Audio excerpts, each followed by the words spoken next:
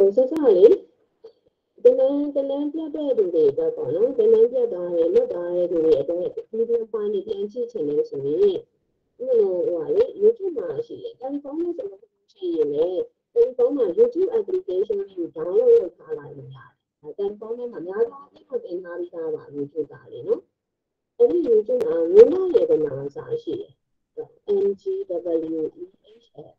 နော်။ HL ဟို GM ဝင်းလာရေကနာလို့ရှာလိုက်ရင်ဒီဒီဝင်းလာရေကနာဆို channel တက်လာတယ်။ဟင်ဒီ channel လေးတက်လာတယ်လေ။အဲ့ဒါအဲ့ဒီဒီ channel title ကဟိုဒီလိုလေးထည့်ပေးထားတယ်ဒီဝေရရမှာ online တွေမှာတင်နေကြအောင်ဆိုပြီးတော့ဒီလိုလေးထည့်ပေးထားတာရှိတယ်။အဲ့ဒီကိုတွားလိုက်ရင်အဲဗီဒီယိုတစ်ခုချင်းစီတွေ့တယ်ပေါ့နော်။ဒါပေမဲ့ အဲကိုကပေါ့နော်ဒီဒီထဲမှာဆိုရင်အများကြီးရောနေလို့နော်။ playlist တွေကိုတွားလိုက်။ဟော playlist တွေကိုတွားလိုက်။ playlist တွေကိုတွားလိုက်ရင် album အလိုက်ဆွဲထုတ်ထားတဲ့ဗီဒီယိုဖိုင်တွေရှိတယ်။အဲ့လိုမျိုးဒါရေးသေးလိမ့်မှာဆိုရင်သေးလိမ့်မှာတမန်ဆက်တာဆိုတမန်ဆက်တာအခုဒီနေ့မှတင်တဲ့ဟာဆို2020ဆိုတဲ့တိုင်တဲ့ဒီနေ့တည့်နေထားတယ်အဲ့လိုပေါ့နော်အဲ့မှာအဘိဓမ္မာပထမစိတ်ဒုတိယစိတ်တတိယစိတ်စာရှိတယ်။ မှာအဘိဓမ္မာပထမစိတ်က2020နှစ်အနာအဘိဓမ္မာဒုတိယစိတ်က2020နှစ်အဘိဓမ္မာတတိယစိတ်2020နှစ်ပါနော်။ဒါအဲ့ဒါဘာပဲပိုင်းနဲ့လို့လို့ပေါ့နော်။ဘယ်ပိုင်းနဲ့လို့လို့အခုဆိုလို့ရှိရင်တော့တာတုကအကုန်လုံးကြီးဘယ်ထိတင်ပြီးသားပြီးတော့ဆိုတဲ့ခါကျရင်ပြီးခဲ့တဲ့အပတ်ကအထိပေါ့နော်ပြီးခဲ့တဲ့အပတ်ကဆိုရင်ပြီးခဲ့တဲ့အပတ်ကဆိုရင်မောင်ရှာနဲ့ဆက်ချောင်းနဲ့ဆက်ခွန်ပေါ့နော်ဟုတ်တယ်မောင်ရှာနဲ့ဆက်ချောင်းနဲ့ဆက်ခွန်ဒီတင်ပြီးသားပါပြီနော် ဒီဒီဒီဒီထဲတဲ့ဥဒါကြည့်လိုက်ရင်ထုတ်လို့ရတယ်ဒီမှာတတိယဆင်းနဲ့အဲတတိယဆင်းဆိုတော့ဒီ tab plain text ကိုဒါကြည့်လိုက်တဲ့အခါကျရင်အဲ့ဒီမှာအဲ့ဒီမှာဒီမှာဟိုစပြီးတော့တင်နန်းဆောင်ဖွင့်နေနေ22ရက်နေ့ကနေပြီးတော့အဲဆို22ရက်နေ့တည်းကနေစထားတဲ့ဗီဒီယိုဖိုင်ပေါ့နော်22ရက်နေ့တည်းကနေပြီးတော့အဲဆိုရင်အခု20နဲ့9ရက်နေ့အထိနော်29ရက်နေ့ အစိုးရကနေနေဒီအပိုင်းတွေအကုန်လုံးတင်လာပြီးသားပါပြီ။အဲဒီလိုပဲဒီမှာကျွန်တော်တို့တရားစက်တရားတွေ30ကျော်နေလက်စက်တွေနေဒီတင်ထားပြီးသားနော်။ဒီကိစ္စကဘာတွေတင်ပြီးသားလို့ဆိုတော့လွတ်သွားကြတဲ့လူတွေနဲ့ကိုလေးကိုလွတ်သွားတဲ့အပတ်ကိုနေဝဲအလိုက်ဒီမှာပြန်ရှိပြီးအဲဘန်တစ်ခုချင်းကြည့်လိုက်နေဝဲအလိုက်ပြန်ပြီးတော့မလုပ်လို့ရတော့ဆိုပြီးပြန်ကြည့်လို့ရတယ်နော်။ပြန်ကြည့်လို့ရတယ်။အပြီးဒီမှာမဟုတ်ဘူးဒီပါလေးပဲဆက်လုပ်တဲ့လူတွေလည်းပြန်ကြည့်လို့ရတယ်။ အာနောက်တစ်ခုကကြတော့ဒီဒီဒီဒီဒီ channel ကိုကဟိုပါနော်ဒီရရနာနေဒီ YouTube channel ကနေတရားသမျှတင်သမျှတော့ notification လုပ်ချင်တယ်ဆိုရင်အဲ့ဒီချိန်မှာအဲ့ဒီဒီဗီဒီယိုလေးကိုကပလင်းလောက်လိုက်တာနဲ့ပေါ့နော်ဒီမှာဗီဒီယိုတစ်ခုပလင်းလောက်လိုက်မယ်ဆိုရင်အဲ့မှာဗီဒီယိုတစ်ခုပလင်းလောက်လိုက်ပြီဆိုတာနဲ့ဟောဒါ admin panel ကြီးတင်နေပြီဒီအောက်ကနားလေးမှာလေ subscribe ဆိုတဲ့ button လေးတွေ့နေတယ်အနည်းငယ်လေးပေါ့နော် အဲ့ဒီ subscribe button လေးကိုထည့်ထားလိုက်လို့ရှိလို့ရှိရင်ဒါဗီဒီယို file တက်ပြီဆိုတာနဲ့ကိုယ်ကိုပြန်ပြီးတော့ notification လေးတက်လာလိမ့်မယ်ပေါ့နော်အဲ့အဲ့လိုလေးလုပ်ရင်လုပ်ထားလိုက်လို့ရတယ်လို့နော် Facebook မှာလို့ရှိရင်ဟို Facebook တုံးတဲ့အခါဒါလို့ရှိရင်အဲဟိုတကယ်ချင်းညာကိုပြင်တဲ့ post တွေဘာလို့ comment လုပ်နေပြီဆိုရင်အပေါ်မှာခိုင်းရတာအများကြီးဖြစ်လာတယ်မို့လားဟိုအဲ့လိုမျိုးပေါ့ဒီ YouTube မှာ subscribe လုပ်ထားလို့ရှိရင်ဒီ channel ကနေ ဒီတင်လာပြီး upload လုပ်လာပြီဆိုတာနဲ့အဲဒါဒီ notification တက်လာလိမ့်မယ်အခါကျရင်ငါ video file တက်တင်နေဆိုတာကိုသိနေတာပေါ့နော်ဒီလိုပုံစံမျိုးဆိုအဲ YouTube channel မျိုးနဲ့နော် YouTube channel ရှိပါတယ်လို့အဲ့ဒီ channel ကနေပြီးတော့ဒါလေးလေးရအောင်ဆိုပြီးပြန်ပြီးတော့ကြည့်လို့ရတယ်။နောက်တစ်ခုဒီ channel message ကတော့အဲဟိုဥပမာရေးထားရဲ့အနာမှာလေ application တွေရေးထားတာရှိတယ်။ application ရေးထားတာရှိပါတယ်။ အဲ့ဒါကဟိုဥပမာဟိုဒီလိုမျိုးပုံစံနဲ့ပေါ့နော်။နောက်ကလေးတွေလည်းဒီလိုရှိပြီးတော့ရေးပေးထားတာ။အဲ့ဒါ Play Store app လည်းရှိတယ်။ iOS အတွက်လည်းရှိတယ်ပေါ့နော်ဟို Play Store မှာဆိုလို့ရှိရင်ဟို Android ဓမ္မတွေအတွက်ဆိုလို့ရှိရင်ပေါ့နော် Android ဓမ္မတွေအတွက်ဆိုလို့ရှိရင် Play Store မှာမိဘရဲ့ဓမ္မလို့ရှာလိုက်ရင်ရှာလာလိမ့်မယ်နော်နော် ဒီရှယ်လာရတဲ့ပုံမြင်ရတယ်နော်အမ NGW email ကအဲဒီဒီရရရနာ application ပါနော် APK လို့ပြောတာ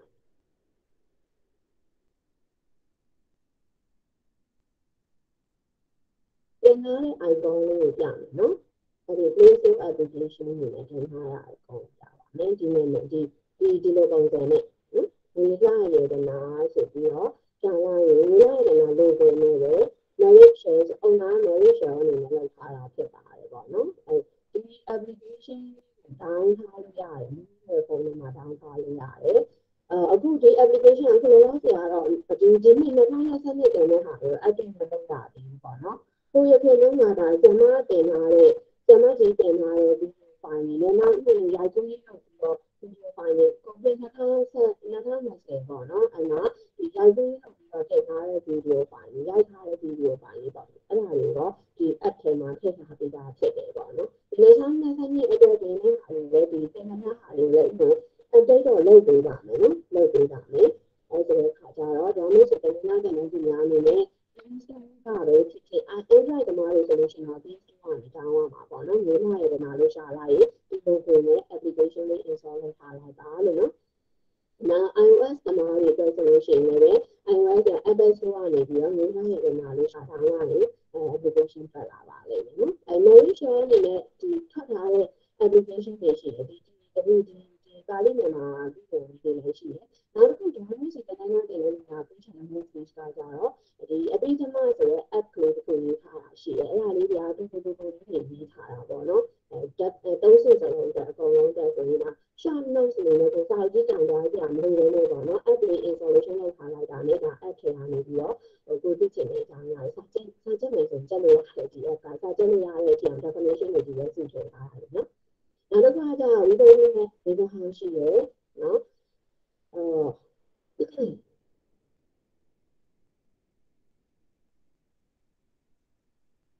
နောက်ဘာလို့ဒီလိုမျိုးတွေလည်းများပြောချင်တာကဒီကကြော question bank ရှိရယ်နော်အခုဒီမှာ question bank ရှိရယ်ဒီရနေပြီးတော့ဒီ marriage share အနေနဲ့အဲ့လိုတင်ထားတဲ့ app တွေအနေနဲ့ဆိုလို့ရှိရင်ဒီဒီကကြော question bank ရှိမယ်နောက်ကအပြီးတော့ question bank ဆိုတာရှိရယ်ပေါ့နော်အဲ question bank လေးတွေ install လုပ်ထားလိုက်လို့ရှိရင်လည်းဒီကောင်းလေးလာတဲ့ဒီလိုပဲဆိုရင်တစ်နှစ်ကတစ်နှစ်ကပြည်လာရတာပို့ပြီးတော့အဆင်ပြေပါတယ်နော်အဆင်ပြေပါလိမ့်မယ်ဆိုအဲ့ဒါလေးတွေကတော့အဲပြောပြမယ်ပြောပြီးမယ်ပြောပြီးမယ်ပြောဖို့လင်းနေတော့ပေါ့နော်ဒီတော့တတိယထားပြီးတော့ပြောပြလိုက်တာဖြစ်ပါတယ်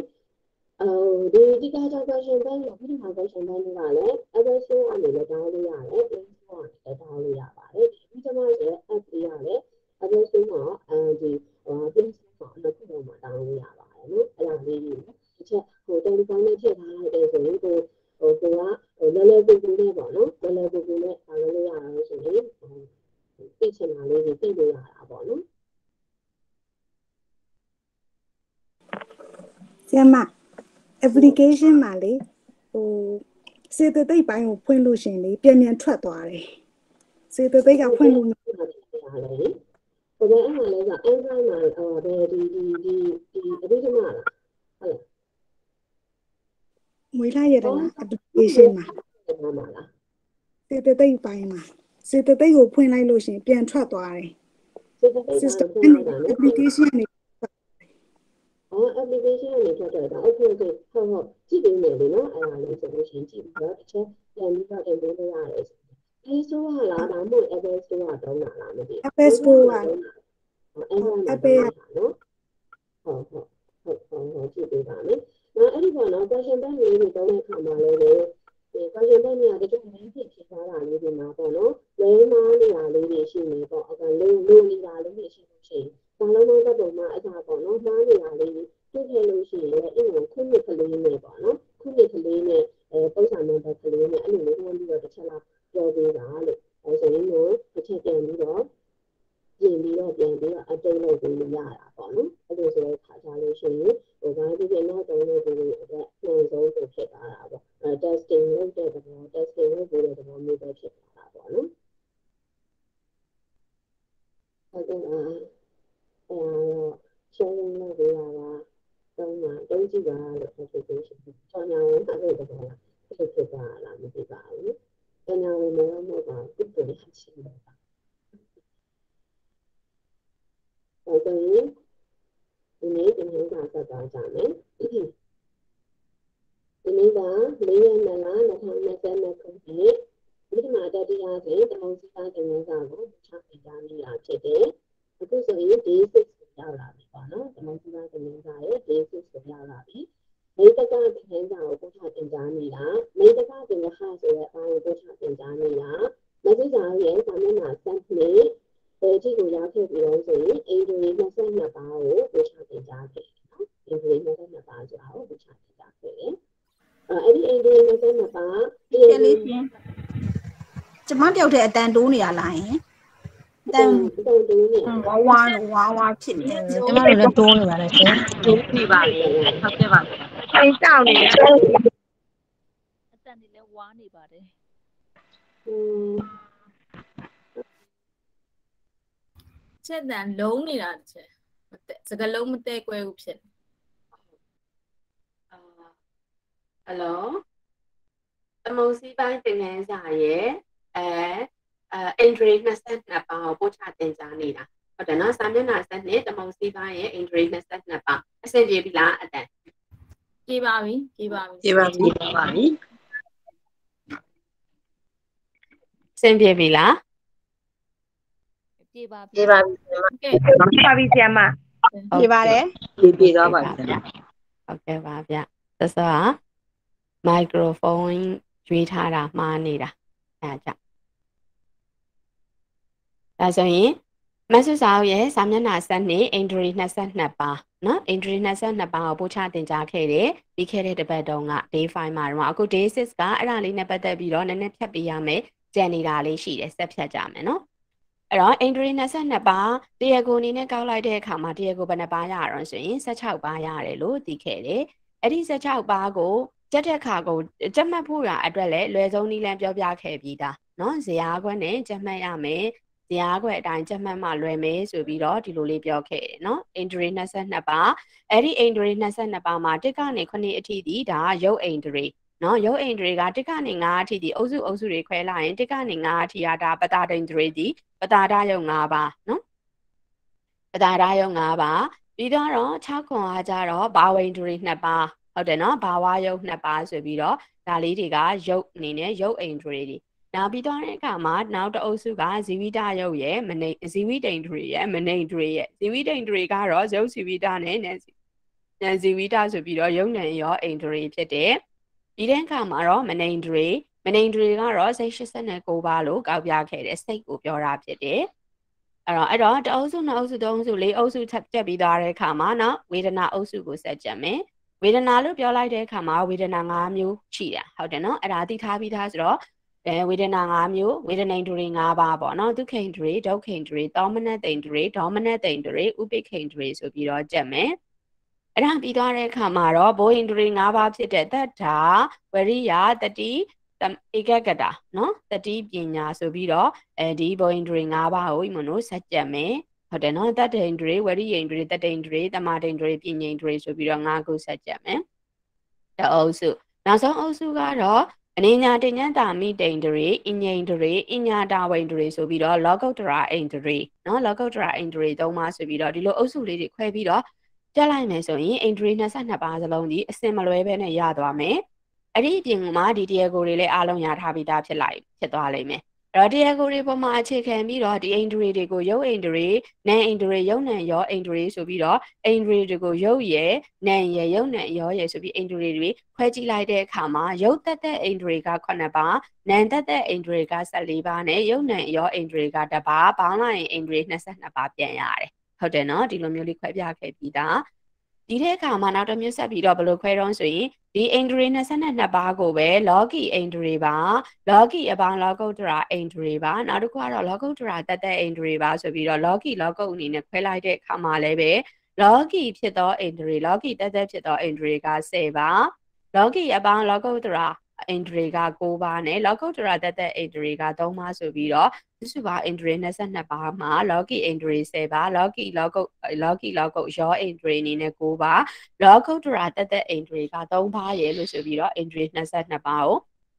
ဒီလိုမျိုးခွဲပြခဲ့တယ်เนาะဒါကအဲချက်တဲ့အခါမှာဒါဒီအချက်ကလေးတွေပါတခါတည်းဝင်ပြီးတော့ချက်ဖို့ဒီဇရာအတိုင်းပဲ ချက်သွားဖို့ရာအတွက်ကိုမွန်ပြောပြခဲ့တယ်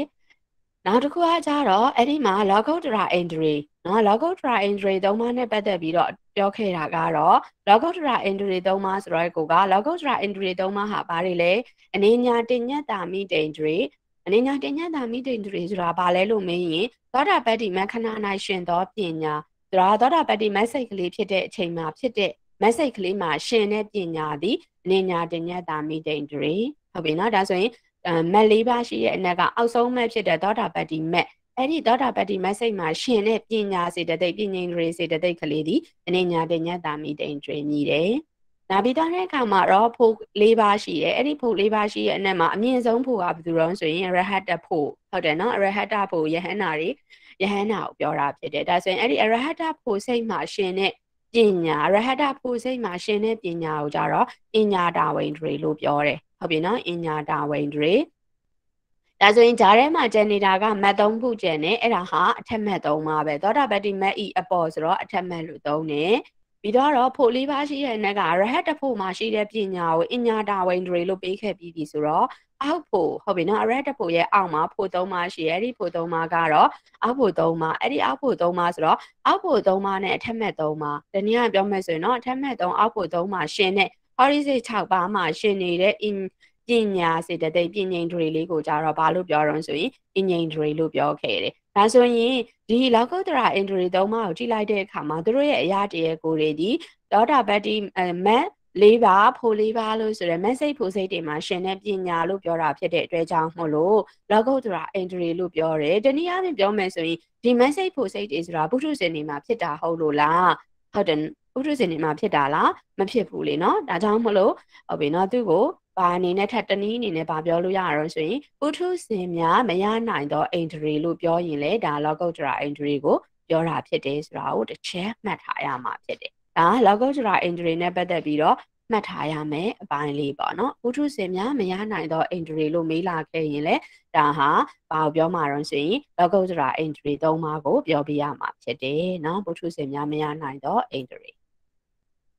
နောက်တစ်ခုကတော့ဒီအိန္ဒြေ22ပါးကိုရုပ်အိန္ဒြေဟုတ်ပြီနော်ရုပ်အိန္ဒြေရုပ်အိန္ဒြေလို့ဆိုတာထက်ရုပ်သက်သက်အိန္ဒြေပေါ့နော်နောက်ရုပ်နဲ့ရောအိန္ဒြေနာသက်သက်အိန္ဒြေလို့ခွဲခြားလိုက်တဲ့အခါမှာဆိုရင်စောနကဇရာအတိုင်းသာခွဲလိုက်ရင်သာမဏ73အထိဒါနန်သက်သက်အိန္ဒြေဆိုလို့ရှိရင်14ပါးထွက်မယ်ရုပ်နဲ့ရောအိန္ဒြေဆိုရင်ဇီဝိအိန္ဒြေတစ်ပါးဖြစ်မယ်နော်ရုပ်အိန္ဒြေတက်တက်ဆိုလို့ရှိရင်ရုပ်တက်တက်အိန္ဒြေဆိုရင်တော့9ပါးဖြစ်မယ်ဆိုပြီးတော့ဒီလိုမျိုးတစ်ခါတည်းထွက်သွားတယ်။နောက်လောကီလောကုတ် နော်လောကီလောကုတ္တရာအိန္ဒြေကုသိုလ်အိန္ဒြေတွေပေါ့နော်လောကီအပေါင်းလောကုတ္တရာကုသိုလ်အိန္ဒြေတွေအနေနဲ့ဆိုလို့ရှိရင်လည်းပဲအာဒါဒီကိုးပါထွက်တယ်ဆိုတာစောစောရရခွဲပြခဲ့ပြီးသားဒီဟာလေးတွေကစာမှုပွဲမေးခွန်းထဲမှာမေးထားတာဖြစ်တဲ့အတွက်ကြောင့်မလို့ဆရာမကနေပြီးတော့ဒီဒီဒီ notes လေးတွေကိုထည့်ပြီးတော့ message စာအုပ်ထဲမှာထည့်သွင်းထွက်ပေးထားတာဖြစ်တယ်ပေါ့နော်နောက်တစ်ခုကတော့ပုထုဇဉ်တဦးရနိုင်သောအိန္ဒြေများအဲ့ဒီမှာရနိုင်သောဆိုတာဝိုင်းထားပေးပေါ့နော်ရနိုင်သောအိန္ဒြေများ ပုထုဇဉ်တဦးရနိုင်သောအိန္ဒြေများလို့မေးလာခဲ့ရင်အိန္ဒြေ22ပါးရှိတဲ့အနက်မှာဟုတ်တယ်နော်အိန္ဒြေ22ပါးရှိတဲ့အနက်မှာ22ပါးရှိတဲ့အနက်မှာ20 21 20 20 21 22ဆိုရဲဟောဒီအိန္ဒြေ3ခုကဒါလောကုတ္တရာအိန္ဒြေ3ခုလို့ပြောတယ်မဟုတ်ဘူးလားပုထုဇဉ်တွေလုံးဝမရဘူးလို့ရှေ့မှာသိထားပြီးသားလေနော်အဲဆိုရင်ပုထုဇဉ်တွေရနိုင်တာဆိုတော့တစ်ကနေပဲအထိပဲရှိမှာတော့ဆိုရင်19အထိပဲရှိမှာပေါ့ဟုတ်တယ်နော်တစ်ကနေ19အထိပဲအဲ့ဒီ19အထိမှာမှ ဘာကိုကျမတို့တတိထားရမှာလို့ဆိုရင်ဘာဝင်ဒရီနှစ်ပါးဖြစ်တဲ့အိထိန်ဒရီနဲ့ပုရိသိန်ဒရီကိုတတိထားရမှာဖြစ်တယ်အိထိန်ဒရီနဲ့ပုရိသိန်ဒရီဆိုတဲ့ဘာဝယုတ်ကတယောက်တည်းကနေနှစ်ခုစလုံးမရနိုင်ဘူးလေနော်နှစ်ခုစလုံးမရနိုင်ဘူးအဲ့တော့မျိုးသမီးတွေဆိုလို့ရှိလို့ရှိရင်လည်းကျမတို့ဒီနေရာမှာဟုတ်ပြီနော်ဘာဝင်ဒရီအနေနဲ့ဆိုလို့ရှိရင်အိထိန်ဒရီပဲရမှာအမျိုးသားတွေအနေနဲ့ဆိုလို့ရှိလို့ရှိရင်လည်းပုရိသိန်ဒရီတပါးတည်းပဲရမှာဆိုတဲ့ခါကျရင်ပုထုဇဉ်တဦးရနိုင်တဲ့အင်ဒရီတွေကတော့ဘယ်နှပါးပဲရှိရအောင်ဆိုရင် 18ပါးပဲရှိတယ်ဆိုတာလေးကိုတော့ဒီနေရာလေးမှာတတိထားပေးရမှာဖြစ်ပါတယ်လို့နော်ဒါဆိုရင်မဆုစာအုပ်ရဲ့စာမျက်နှာ73ကဒီဒီဒီဒီမှတ်စုအတူတူလေးတွေကိုရမလားရှင်နားလဲမလားနားလဲပါတယ်ဟုတ်နားလဲမယ်နော်အဲဆိုရင်တစ်ဆက်တည်းဆက်သွားမယ်မဆုစာအုပ်ရဲ့စာမျက်နှာ74မှာ အင်ဒရီတရားသုံးပါအထူးဆိုတဲ့ခေါင်းစဉ်လေးရှိပါတယ်အဲ့ဒါဇောနာတည်ထားပြီးသားဖြစ်တဲ့ဟာလေးအနိညာတင်ညက်တာမိတိန်ဒရီရဲ့အင်ငိန်ဒရီရဲ့အညာတာဝိန်ဒရီရဲ့ဆိုပြီးတော့ဒီသုံးခုရှိရဲ့အဲ့ဒီသုံးခုကိုကြည့်လိုက်တဲ့အခါမှာသူကတိခပုဂ္ဂိုလ်ရဲ့တိခပုဂ္ဂိုလ်ရဲ့အာတိခပုဂ္ဂိုလ်ရဲ့ဆိုပြီးတော့ဒီလိုခွဲထားတယ်။ရာမိတ်ဆွေများတိခပုဂ္ဂိုလ်ဆိုတာကသင်ခဲ့ဘူးပြီးလိမ့်မယ်။ဟုတ်ပြီနော်တိခပုဂ္ဂိုလ်ဆိုတာဘာကိုပြောတာလဲ ကျင်စဲ။ဟုတ်တယ်ကျင်စဲပုဂ္ဂိုလ်နော်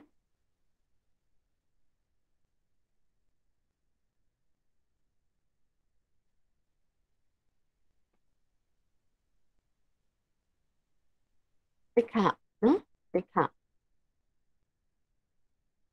ဟုတ်တယ်နော်တိခပုဂ္ဂိုလ် တိခပုဂ္ဂိုလ်ဆိုတာကဘာလို့ပြောတာတော့ဆိုရင်ကျင်စဲပုဂ္ဂိုလ်လို့ပြောတာနော်ကျင်စဲပုဂ္ဂိုလ်ကျင်စဲပုဂ္ဂိုလ်ဆိုတာကအထက်မှတ်ဖို့ရရှိဖို့ရအတွက်အထက်မှတ်ဖို့ရရှိဖို့ရအတွက်ကိုပဲဟိုဆက်လက်ပြီးတော့ကျင့်ကြံအားထုတ်ရအောင်မဲ့ပုံကိုမျိုးပေါ့နော်အဲ့ဒါတရားဘယ်သူတွေတုံးဆိုရင်သောတာပန် နော်သောတာပန်ရဲ့တက္ကဒါခံရဲ့နောက်တစ်ခါကျတော့တက္ကဒါခံရဲ့နောက်တစ်ခါကျတော့အနာခံရဲ့ဆိုပြီးတော့ဒီပုဂ္ဂိုလ်သုံးခုကဒါကျင့်စဲပုဂ္ဂိုလ်တွေပဲနော်ကျင့်စဲပုဂ္ဂိုလ်နောက်တစ်ခါတမ္မာတန်ဗုဒ္ဓပိစိကဗုဒ္ဓနဲ့ယဟန္တာနော်ယဟန္တာကျတော့အာတိခပုဂ္ဂိုလ်လို့ပြောတယ်ပေါ့နော်အခုဒီမှာကတော့ရဟတ်တဖို့လို့ပြောတဲ့အတွက်ကြောင့်မလို့ယဟန္တာပုဂ္ဂိုလ်မျိုးပေါ့နော်ယဟန္တာပုဂ္ဂိုလ်ဆိုလို့ရှိရင်တော့ဒါအာတိခပုဂ္ဂိုလ်ပေါ့နော်အာတိ ခနော်အာတိခပုဂ္ဂိုလ်အဲ့တော့အာတိခပုဂ္ဂိုလ်ကကြတော့အတိပ္ပယ်အနေနဲ့ပြောလိုက်လို့ရှိရင်တော့ကျင့်ပြီးပုဂ္ဂိုလ်လို့ပြောတာနော်ကျင့်ပြီးပုဂ္ဂိုလ်အဲ့တော့ကျင့်ပြီးပုဂ္ဂိုလ်ဆိုတော့အထက်မှတ်ဖို့ရရှိဖို့ရအတွက်ထက်ကျင့်စရာမလိုတော့ဟုတ်တယ်လေယဟန္တာ တမ္မာတန်ဗုဒ္ဓသိစေကဗုဒ္ဓဆိုတာကဒီဘဝဒီခန္ဓာဒီနောက်ဆုံးပဲဖြစ်တယ်ဟုတ်တယ်နော်ဒုတိယဘဝဆိုတာမရှိတော့ဘူးတဏှာကနေဘာဖြစ်သွားပြီတော့ဆိုရင်လွတ်မြောက်သွားပြီပြီးဆုံးသွားပြီဖြစ်တဲ့အတွက်ကြောင့်မလို့ထပ်ပြီးတော့ကျင့်စရာမလိုတော့ဘူးပေါ့နော်သောတာပန်ပုဂ္ဂိုလ်လို့ပြောလိုက်တယ်သောတာပန်ပုဂ္ဂိုလ်ဆိုလို့ရှိလို့ရှိရင်တဂရကံဖြစ်အောင်လို့ဘာလို့ရအောင်မှာတော့ဆက်ပြီးတော့ကျင့်ရအောင်မှာကျင့်စဲပဲပေါ့နော်ကျင့်စဲလို့ပြောလို့ရမှာပေါ့ တဂရကံဖြစ်သွားပြီဆိုတဂရကံပုဂ္ဂိုလ်ဆိုရင်လည်းပဲအထက်မှတ်ရအောင်လို့ထပ်ပြီးတော့ကျင့်ရအောင်မယ်အနာကံဖြစ်အောင်ကျင့်ရအောင်မယ်အနာဂံပုဂ္ဂိုလ်ဆိုလို့ရှိရင်လည်းယဟန္တာဖြစ်အောင်လို့ထပ်ကျင့်ရအောင်မှာဖြစ်တဲ့အတွက်ကြောင့်မလို့သောတာပန်တကယ်တာကအနာဂံပုဂ္ဂိုလ်တွေကိုတော့ကျင့်စေသစ္ခပုဂ္ဂိုလ်လို့ခေါ်ပြီးတော့ယဟန္တာပုဂ္ဂိုလ်ကြတော့ရဟတမအရဟတဖို့ပေါ့နော်မ ဖို့ပေါ့တနည်းပြောမယ်ဆိုရင်ရဟတဖို့ပုဂ္ဂိုလ်လို့ပြောတာပေါ့နော်မက်ကတော့ message မက်ပုဂ္ဂိုလ်ရဲ့လို့ကတော့ message ကလေးဖြစ်တဲ့အခိုက်အတန့်မှာပဲဒီမနော်မက်ပုဂ္ဂိုလ်လို့ခေါ်တာလေနော်ဂျန်တဲ့အချိန်ဆိုရင်တော့ဒါမက်ကြပြီးခဏမဆိုင်မှာဖို့စိတ်ဖြစ်တယ်ဆိုရင်အဲ့ဒီဖို့စိတ်ဖြစ်တဲ့တောက်လျှောက်ဒီဒါအရဟတဖို့ပုဂ္ဂိုလ် သောတာပန်ဆိုလို့ရှိရင်လည်းသောတာပတ္တိဖို့ပုဂ္ဂိုလ်တက္ကရာကံဆိုရင်လည်းတက္ကရာဂါမိဖို့ပုဂ္ဂိုလ်နာကံဆိုရင်လည်းနာဂါမိဖို့ပုဂ္ဂိုလ်ဆိုတော့ဘာကြောင့်လဲဖို့ပုဂ္ဂိုလ်လို့ခေါ်ရတယ်လဲဆိုရင်တို့ကဖို့ဝင်စားနိုင်တာဖြစ်တဲ့အတွက်ကြောင့်မလို့ဒီစိတ်တွေကတို့ရဲ့ကိုယ်ပိုင်စိတ်တွေပဲပေါ့နော်ဒီလိုဆိုတဲ့အခါကျတော့ယဟန္တာဆိုလို့ရှိရင်လည်းဒါရဟတဖို့ပုဂ္ဂိုလ်ပေါ့တို့တွေကတော့ကျင့်ပြီးပုဂ္ဂိုလ်တွေဖြစ်တဲ့အာတိခပုဂ္ဂိုလ်တွေပေါ့ဒါဆိုရင်ဒီစိတ်တွေကိုသွားကြည့်လိုက်ရအောင်အင်ဂျင်တွေအညာတာဝိန်တွေအနေညာတင်ညတာမိတိန်တွေအင်ဂျင်တွေအညာတာဝိန်တွေ ဟုတ်ပြီနော်အညာတာဝိန်တွေဆိုပြီးတော့ဒီဒီစိတ်တွေဒီလောကုတ္တရာအင်ဒရီသုံးပါးကိုသွားကြည့်လိုက်တဲ့အခါမှာသောတာပတ္တိမခဏမှာဖြစ်တဲ့ပညာကိုဘာလို့ပြောခဲ့တာတော့နေညာတင်ညတာမိတိန်တွေလို့ကောက်ခဲ့တယ်နော်အထက်မှတ်3အောက်ဖို့3ဟုတ်ပြီနော်အထက်မှတ်3အောက်ဖို့3ဒီမှာဖြစ်နေတဲ့ပညာကိုတော့ဒီစိတ်တွေမှာရှင်တဲ့ပညာကိုတော့အင်ဂျင်ဒရီလို့ကောက်ခဲ့တယ်နော်အရဟတ်တဖို့မှာရှိနေတဲ့ပညာကိုကြတော့ပညာတာဝန်ဒရီလို့ကောက်ခဲ့တယ်ဆိုရင်တဲ့ဟုတ်ပြီနော်ဒီမှာ တိခအာတိခအနေနဲ့ခွဲကြည့်ရအောင်ဟုတ်ပြီနော်တိခအာတိခအနေနဲ့ခွဲကြည့်တဲ့အခါကျတော့သောတာပတ္တိမက်ဒီတိခလားအာတိခလားဆိုတော့တိခဟုတ်တယ်နော်သောတာပန်ပုံကိုဖြစ်ဖို့ရတဲ့သောတာပတ္တိ message ကလေးကြားတာဆိုတိခအဲဆိုရင်အထက်မှတ်သုံးဒီလည်းပဲဒါပါပဲတော့ဆိုရင်တိခတယ်ဝင်တယ်နော်တိခတယ်ဝင်တယ်နော်အောက်ဖို့သုံးကလည်းဘယ်ထဲဝယ်ဝင်သွားတော့ဆိုရင်တိခပုဂ္ဂိုလ်တွေပဲဝင်သွားတယ် အတ္တခအနေနဲ့ဆိုရင်ရဟတဖို့လို့ဆိုရဲအညာတာဝင်တွေတခုတည်တာလီဘယ်ထဲဝင်တာတော့ဆိုရင်အတ္တခပုဂ္ဂိုလ်တွေဝင်သွားတာပေါ့နော်ဒါကြောင့်မလို့တိခအတိခအတိခအနေနဲ့ခွဲလိုက်တဲ့အခါမှာအနေညာတင်ညတာမိတင်တွေဒီတိခပုဂ္ဂိုလ်မှာဖြစ်တယ်အင်ဂျင်တွေကတော့တိခပုဂ္ဂိုလ်မှာအညာတာဝင်တွေဒီအတိခပုဂ္ဂိုလ်မှာဖြစ်တယ်ပေါ့နော်အဲကြောင့်မလို့အနေညာတင်ညတာမိတင်တွေသောတာပတ္တိမစိတ်မှာရှင်တဲ့ပညာအင်ဂျင်တွေအထက်မှတ်သုံးအောက်ဖို့သုံးမှာရှင်တဲ့စိတ်တွေ နော်အညာတာဝင်တွေကတော့အရဟတဖို့စိတ်မှာရှိနေတဲ့ပညာဆိုတော့ဒီစိတ်ကလေးတွေကိုစအရာအနေနဲ့ဆွဲထုတ်လိုက်တယ်ဆွဲထုတ်ပြီးသားတဲ့အခါမှာသူတို့ကိုနယ်ပေးတဲ့အခါကျတော့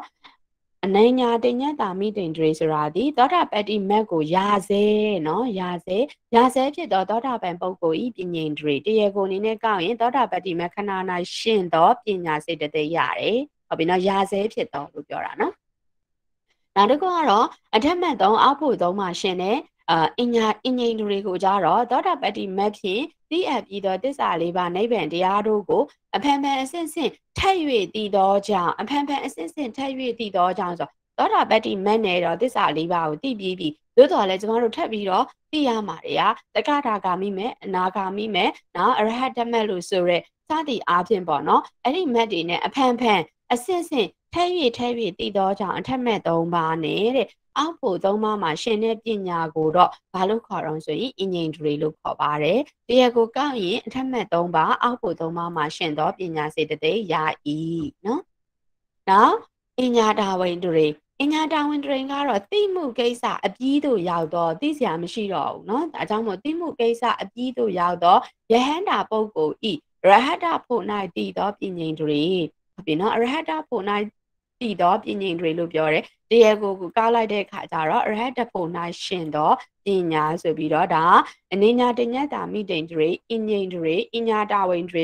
အင်္ဂရေ၃ပါးလောကုတ္တရာအင်္ဂရေ၃ပါးရဲ့အထူးလေးကိုထည့်ပေးထားတာဖြစ်ပါတယ်အဲ့တော့ကြက်မှတ်ထားသေးလို့ရပေါ့နော်စာမေးပွဲမေးခွန်းဟောင်းအနေနဲ့ရှိတာဖြစ်တဲ့အတွက်ကြောင့်မလို့ဓမ္မမိတ်ဆွေတနင်္လာတနင်္သူများအနေနဲ့ကြက်မှတ်ထားဖို့လိုအပ်ပါတယ်လို့နော်အင်္ဂရေအင်္ဂရီမိတ်ကကတင်ငါမှာမေးတာကအင်္ဂရီတွေကအမေးများတယ် မက်ခင်တွေကလည်းမေးများတယ်အဲ့လိုပုံစံမျိုးတွေမေးတတ်တယ်ဆိုတော့အင်္ဂရီထဲမှာကတပုံသမဝက်ဖြစ်ဆိုချောင်းမဲ့တပေါင်းမိတ်ဆွေတင်နန်းသားတင်နန်းသူများအနေနဲ့ဆိုရင်တော့ဒါဟိုဟိုဟိုတေးသေးချာချာလေးချက်မှတ်ထားရမှာဖြစ်တယ်နော်โอเคဒါမယ်နော်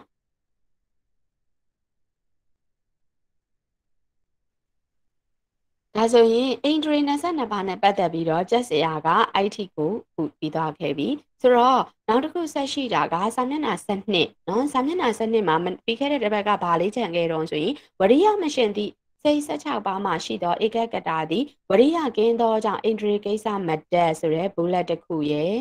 နော်ဝိသိကိစ္စတံပြုတ်စိတ်ရှိဧကကတာသည်အဓိမောက္ခကင်းသောကြောင့်အင်ဒရီကိစ္စမတက်ဆိုတဲ့ နှစ်ခုရယ်ဒီနှစ်ခုကိုခြံခဲ့တယ်အဲ့ဒီနှစ်ခုမှာ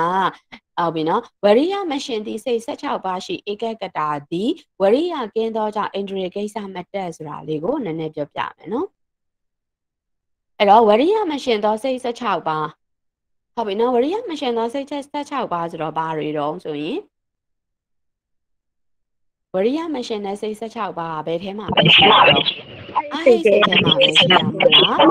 လေဟာတီတုတ်ပဲနော် အဲအားစိတ်စိတ်ထဲမှာပဲလေဝရိယရဲ့ဒီမုံတို့လင်္ကာလေးကိုဘေးရလင်္ကာလေးကိုသွားဆိုကြည့်လိုက်ရင်ဒွေးတန်တော့တဲ့အကျင့်မှတ်လို့ချက်ခဲ့တာဟုတ်တယ်နော်စေတသိက်ပိုင်းမှာဒွေးတန်တော့တဲ့အကျင့်မှတ်ဒွေးတန်တော့တဲ့အကျင့်မှတ်ဆိုတာဒွေးဆိုတာကဒွေးပြင်းစားဝိညာဉ်10ပါ တန်ဆိုတာကတန်တီရဏ3ပါဟုတ်တယ်နော်ဒီတန်တီရဏ3ပါကိုပြောတာတန်ဆိုတာတန်တီရဏ3ပါနောဓာတ်ဆိုတာကမနောဓာတ်3ပါကိုပြောတာမနောဓာတ်3ပါဆိုတာကဟောဒီတန်ပဋိဆိုင်စိတ်2ပါရဲ့ဟောဒီပြင်စားထွာတာဝဇန်စိတ်ကလေးတစ်ပါရဲ့အဲ့ဒါမနောဓာတ်3ပါပြီးတော့ဒွေးဆိုတာဒွေးပြင်စားဝိညာဉ်10ပါဆိုတာကဒီစိတ်10ပါကိုပြောတာ ဟုတ်ပြီเนาะဒါကြောင့်မလို့အဲ့ဒီစိတ်ဆက်ဒီဒီ16ပါးပေါ့စုစုပေါင်းရှင်လိုက်လို့ပြန်ပေါင်းကြည့်လိုက်တဲ့အခါကျရင်ဒွေပြင်စားဝယ်ညင်စိတ်10ပါးရဲ့တန်တီရဏ3ပါးရဲ့မနောဓာတ်3ပါးရဲ့စုစုပေါင်းစိတ်16ပါးမှာဘယ်သူမရှင်ဘူးတော့ဆိုရင်ဝရိယမရှင်ဘူးဟုတ်တယ်နော်ဝရိယမရှင်သောစိတ်16ပါးဆိုဒီမှာဘာတွေလဲဆိုရင်ဒွေပြင်စားဝိညာဉ်10ပါးရဲ့တန်တီရဏစိတ်3ပါးရဲ့နောက်မနောဓာတ်3ပါးရဲ့အဲ့ဒီစိတ်16ပါးမှာဘယ်သူမရှင်ဘူးတော့ဆိုရင်ဝရိယမရှင်အာဝရိယစိတ်လို့ပြောတယ် နော်အဝရိယစိတ်ဝရိယမရှိတဲ့စိတ်ပေါ့နော်ဝရိယကင်းတဲ့စိတ်အဝရိယစိတ်16ပါးအဝရိယစိတ်16ပါးဆိုတာဒီဒွေးတန်နောဓာတ်ကိုပြောတာဖြစ်ပါတယ်ဒါဆိုရင်အဲ့ဒီဝရိယမရှင်တဲ့စိတ်16ပါးမှာရှိနေတဲ့ဧကကတာသည်တဲ့ဟုတ်ပြီနော်ဧကကတာသည်ဆိုတော့ဒီဝရိဒီဒီစိတ်16ပါးမှာဧကကတာစေတသိက်ကလေးရှိသလားရှိပါတယ်ရှိတယ်နော်ရှိတယ်ဘာဖြစ်လို့တော့ ဧကကတာရှိတယ်လေဒရာမိတ်ဆွေများဧကကတာဒီတပ္ပစိတ်တာဒါရဏစေတသိက်ခုနှစ်ပါးထဲမှာပါတာမို့လား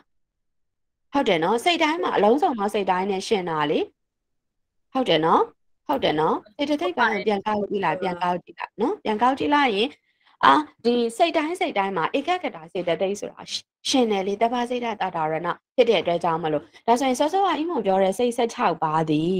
ဝရိယတာမရှင်တာဘယ်သူရှိနေတော့ဧကကတာရှိနေတယ်မဟုတ်ဘူးလား ဟုတ်တယ်နော်အဲ့တော့ဧကကတာကိုကြည့်လိုက်တော့ဧကကတာသည်အင်ဒရီထဲမှာဘာအင်ဒရီအနေနဲ့ရနေတော့ဧကကတာတရေကိုကောက်ထားတာရှိရယ်ဘာအင်ဒရီတော့တမာဒိန်ဒရီဟုတ်တယ်နော်တမာဒိန်ဒရီကောက်ထားတယ်မို့လားဟုတ်တယ်နော်ဒါဆိုရင်တမာဒိန်ဒရီဧကကတာလို့ကောက်လိုက်တဲ့ခါကျရင်ဧကကတာဒီစိတ်89ပါးစလုံးမှာဧကကတာ89လုံးရှိတာပေါ့ဟုတ်လားပဲပါစိတ် စိတ်နဲ့အမျှစေတသိက်တွေကိုရေတွက်မယ်ဆိုရင်ဧကကတာဒီစိတ်89ပါးမှာရှင်တယ်လို့ပြောတာဖြစ်တဲ့အတွက်ကြောင့်မလို့ဧကကတာ89လုံးရှိတာမဟုတ်ဘူးလားပါတယ်ဆရာမဒါဆိုလို့ရှိရင်ဇောနာကတမာဒိန်တရရဲ့တရက်ကိုကိုကောက်လိုက်တဲ့အခါကျတော့ဧကကတာစေတသိက်ရရရောဒါဆိုရင်ဧကကတာ89လုံးစလုံးဒီတမာဒိန်တရထိုက်တာလားလို့ဒီလိုမေးစရာရှိတယ် ဟုတ်တယ်နော်စိတ်89ပါး၌ရှိသောဧကကတာဒီတမာဒိန်တရလို့ဒီလိုပြောချင်တာလားပေါ့မဟုတ်ဘူးတဲ့နော်89ပါးစလုံးမှာရှိတဲ့ဧကကတာကိုတမာဒိန်တရလို့ကောက်လို့မရဘူးတဲ့အဲ့ဒီတည်းကဘယ်သူကိုခြံခဲရမလို့အာဝရိယစိတ်16ပါးဟုတ်ပြီနော်ဝရိယမရှင်တဲ့စိတ်16ပါးမှာရှိနေတဲ့ဧကကတာကိုတော့ဖယ်ခဲ့ရမှာနော်တဲ့အဲ့ဒီစိတ်16ပါးမှာရှိနေတဲ့ဧကကတာ16လုံးဟာ ဘာမထိုက်ဘူးတော့ဆိုရင်တမာဒိန်တွေလို့ကောက်လို့မရဘူးတမာဒိန်တွေထိုက်လို့မရဘူးတမာဒိန်တွေမထိုက်ဘူးတဲ့အင်တွေမထိုက်ဘူးတဲ့ဘာဖြစ်လို့လဲလို့အပြစ်ကိုကြည့်လိုက်တော့ဘာဖြစ်လို့နေဘာဖြစ်နေလို့တော့ရိယမပါအလို့မ်ဝရိယမရှိလို့အင်ဒရီဆိုတဲ့သဘောကဆိုင်ရာကိစ္စရက်တွေမှာကြီးစိုးတာအစိုးတရားနဲ့အုပ်စိုးတဲ့သဘောရှိတာပေါ့နော်အဲ့တော့ဒီစိတ်ဆက်ချပါမှာတမာဒိန်ဒရီထိုက်ဖို့ရအတွက်ဘယ်သူရှိမှရမှာတော့ဆိုရင်ဝိရိယရှိမှရမှာတဲ့ ဟုတ်ပြီနော်ဝရိယရှိမှရမှာဒါပေမဲ့အဲ့ဒီစိတ်ဆက်ချပါမှာဝရိယပါမလာခဲ့တာဖြစ်တဲ့အတွက်ကြောင့်မို့လို့ဒီဝရိယမရှိတာဖြစ်တဲ့အတွက်ကြောင့်မလို့ဒီစိတ်မှာရှင်နေတဲ့ဧကကတာတွေဟာဘာမထိုက်ဘူးတော့ဆိုရင်တမာဒိန်တွေမထိုက်ဘူးအတိအကျကောက်ရင်တမာဒိန်တွေမထိုက်ဘူးဟုတ်ပြီနော်ရေဘူးရအနေနဲ့ဆိုရင်တော့ကျမတို့အိန္ဒြေမထိုက်ဘူးအိန္ဒြေကိစ္စကိုမလုံနိုင်ဘူးလို့ဒီလိုပြောတာဖြစ်တယ်ဟုတ်ပြီနော်ဒါဆိုရင်တမာဒိန်တွေထိုက်တဲ့ဧကကတာဆိုတာဒီ86တွေကနေအဲ့ဒီ16ပါးကိုနှုတ်ချလိုက်တော့ဘယ်နှပါးပဲကျန်တော့မလို့ 83ပါ83 83မှာ83မှာဒါဆိုလို့ရှိရင်တမာဒိန်တွေအိန္ဒြေ22ပါးမှာတမာဒိန်တွေကိုအတိအကျကောက်မယ်ဆိုလို့ရှိရင်ဟုတ်ပြီနော်ဝရိယရှင်တဲ့စိတ်83ပါးမှာရှင်သောဧကကတာဒီပင်လျင်ဘာအိန္ဒြေထိုက်တယ်လို့ပြောလို့ရတာတော့တမာဒိန်တွေထိုက်တယ်လို့ပြောလို့ရတာနော်ဒရာမိတ်ဆွေများအဲ့ဒါဆိုရင်နားလေလားဟိုနားလေသွားပြီလားနားလေသွားပြီလားတည်တည်ချာချာ နားမလဲရင်ထက်ရှင်ပါနော် နားလည်ပါတယ် ဟုတ်ပြီနော် ဟုတ်နော်ဆရာမ โอเค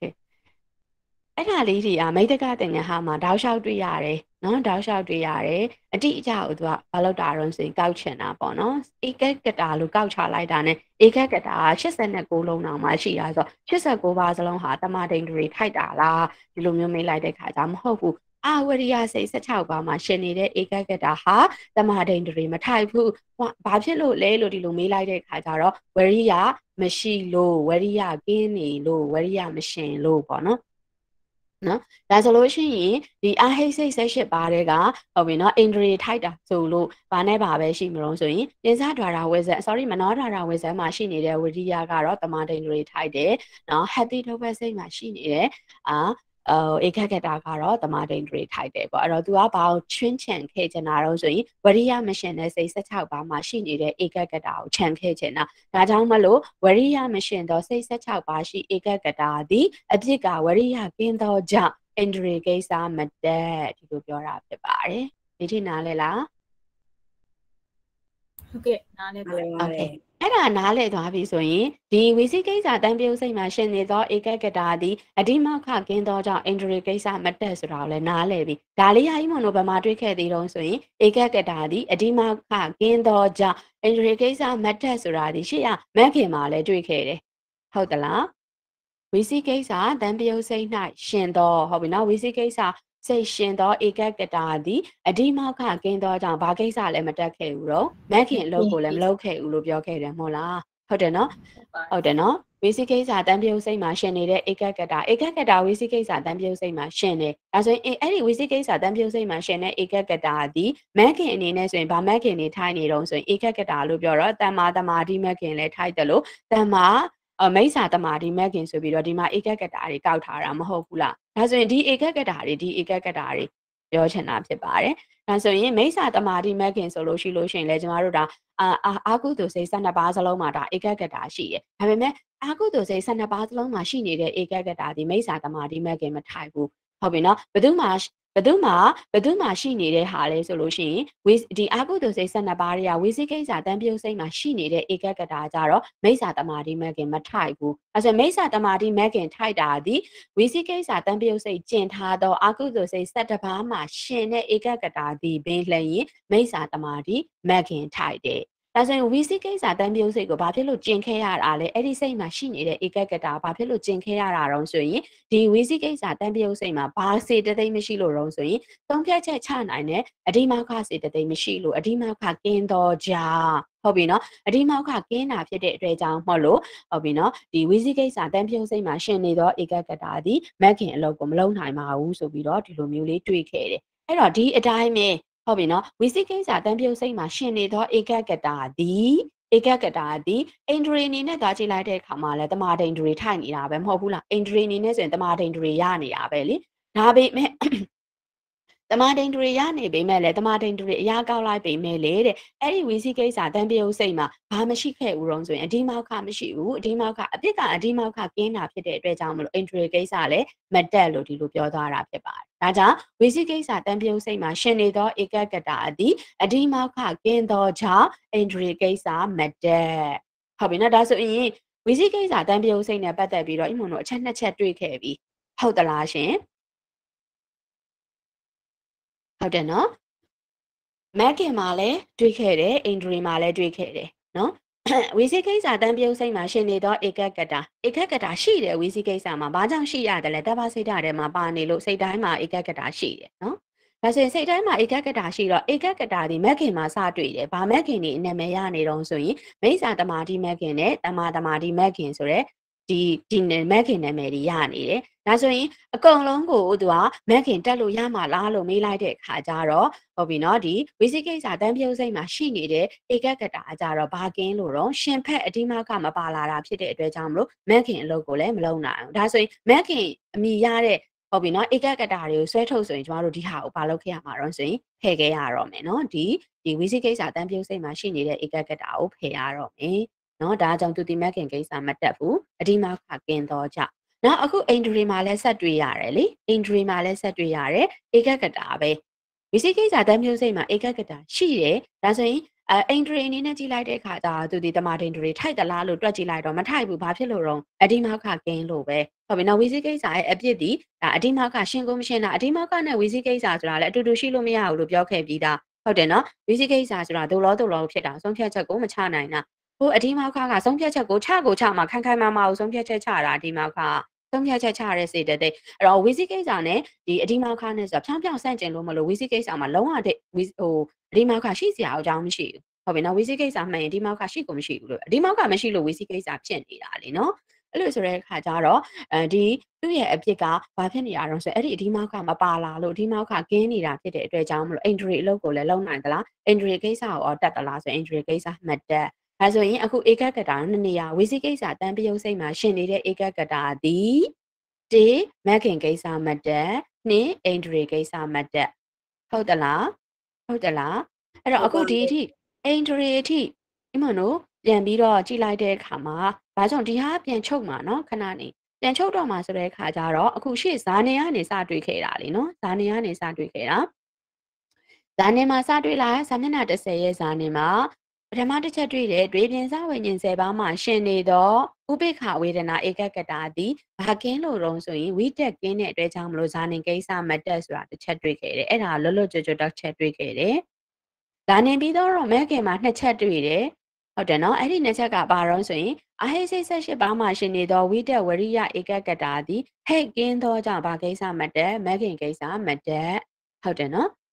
နောက်ဝိစီကိစ္စတံပြုစိတ်မှရှင်နေသောဧကကတာသည်အဒီမောက်ကကင်းသောကြောင့်မဂခင်ကိစ္စမတက်ဆိုပြီးဒီနှစ်ချက်မဂခင်မှာတွေ့တယ်အိန္ဒြေမှာလည်းနောက်နှစ်ချက်ဆက်တွေ့တယ်ဝရိယမရှင်သည့်စိတ်ဆက်6ပါးရှိဧကကတာသည်ဝရိယကင်းသောကြောင့်အိန္ဒြေကိစ္စမတက်ဝိစီကိစ္စတန်ပြုတ်စိတ်ရှိဧကကတာသည်အဒီမောခကင်းသောကြောင့်အိန္ဒြေကိစ္စမတက်ဆိုတော့ဝိစီကိစ္စတန်ပြုတ်ကိုဒီအိန္ဒြေကိစ္စလည်းမတက်ဘူးမခင်ကိစ္စလည်းမတက်ဘူးဆိုတာကိုတွေ့နေရတယ်ပေါ့ဟုတ်ပြီနော်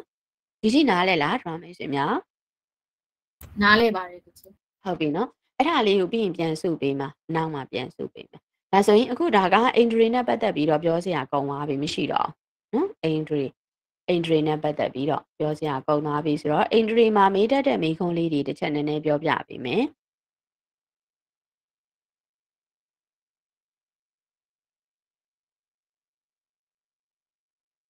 ဒီမေခွန်းနံပါတ်၄ကိုတစ်ချက်ကြည့်ကြည့်ပါမယ် မေခွန်းနံပါတ်၄မှာမက်ခင်ဖောင်ကြီးအမြန်စီ၍နိဗ္ဗာန်ခရီးသွားကြမည်ကြွေးကြော်တန်းရှိတော်လဲနိဗ္ဗာန်မသွားပယ်လားစေနိုင်သောမက်ခင်ဆိုရင်ဒါသိထားပြီးသားเนาะမိစ္ဆာမက်ခင်၄ပါးကိုမိတာဒါမက်ခင်နဲ့ပတ်သက်တော့ပြောခဲ့တယ်အဲဆိုရင်အဲ့ဒီမေခွန်းရဲ့နောက်တစ်ဆက်ပိုင်းကိုကြည့်ရအောင်အင်ဒရီ22ပါးတို့တွင်နန်တက်တဲ့အင်ဒရီများကိုစနစ်တကျရေးတွက်ပြပါလို့ပြောတော့နန်တက်တဲ့အင်ဒရီတွေကိုရေးတွက်ခိုင်းတာဆိုရင်14ပါးကိုဘာလုပ်ပြရမှာတော့ဆိုရင်ဒါရေးပေးရမှာဆိုတော့ဒီလိုမျိုးမေးသွားတတ်တယ်ပေါ့နော်။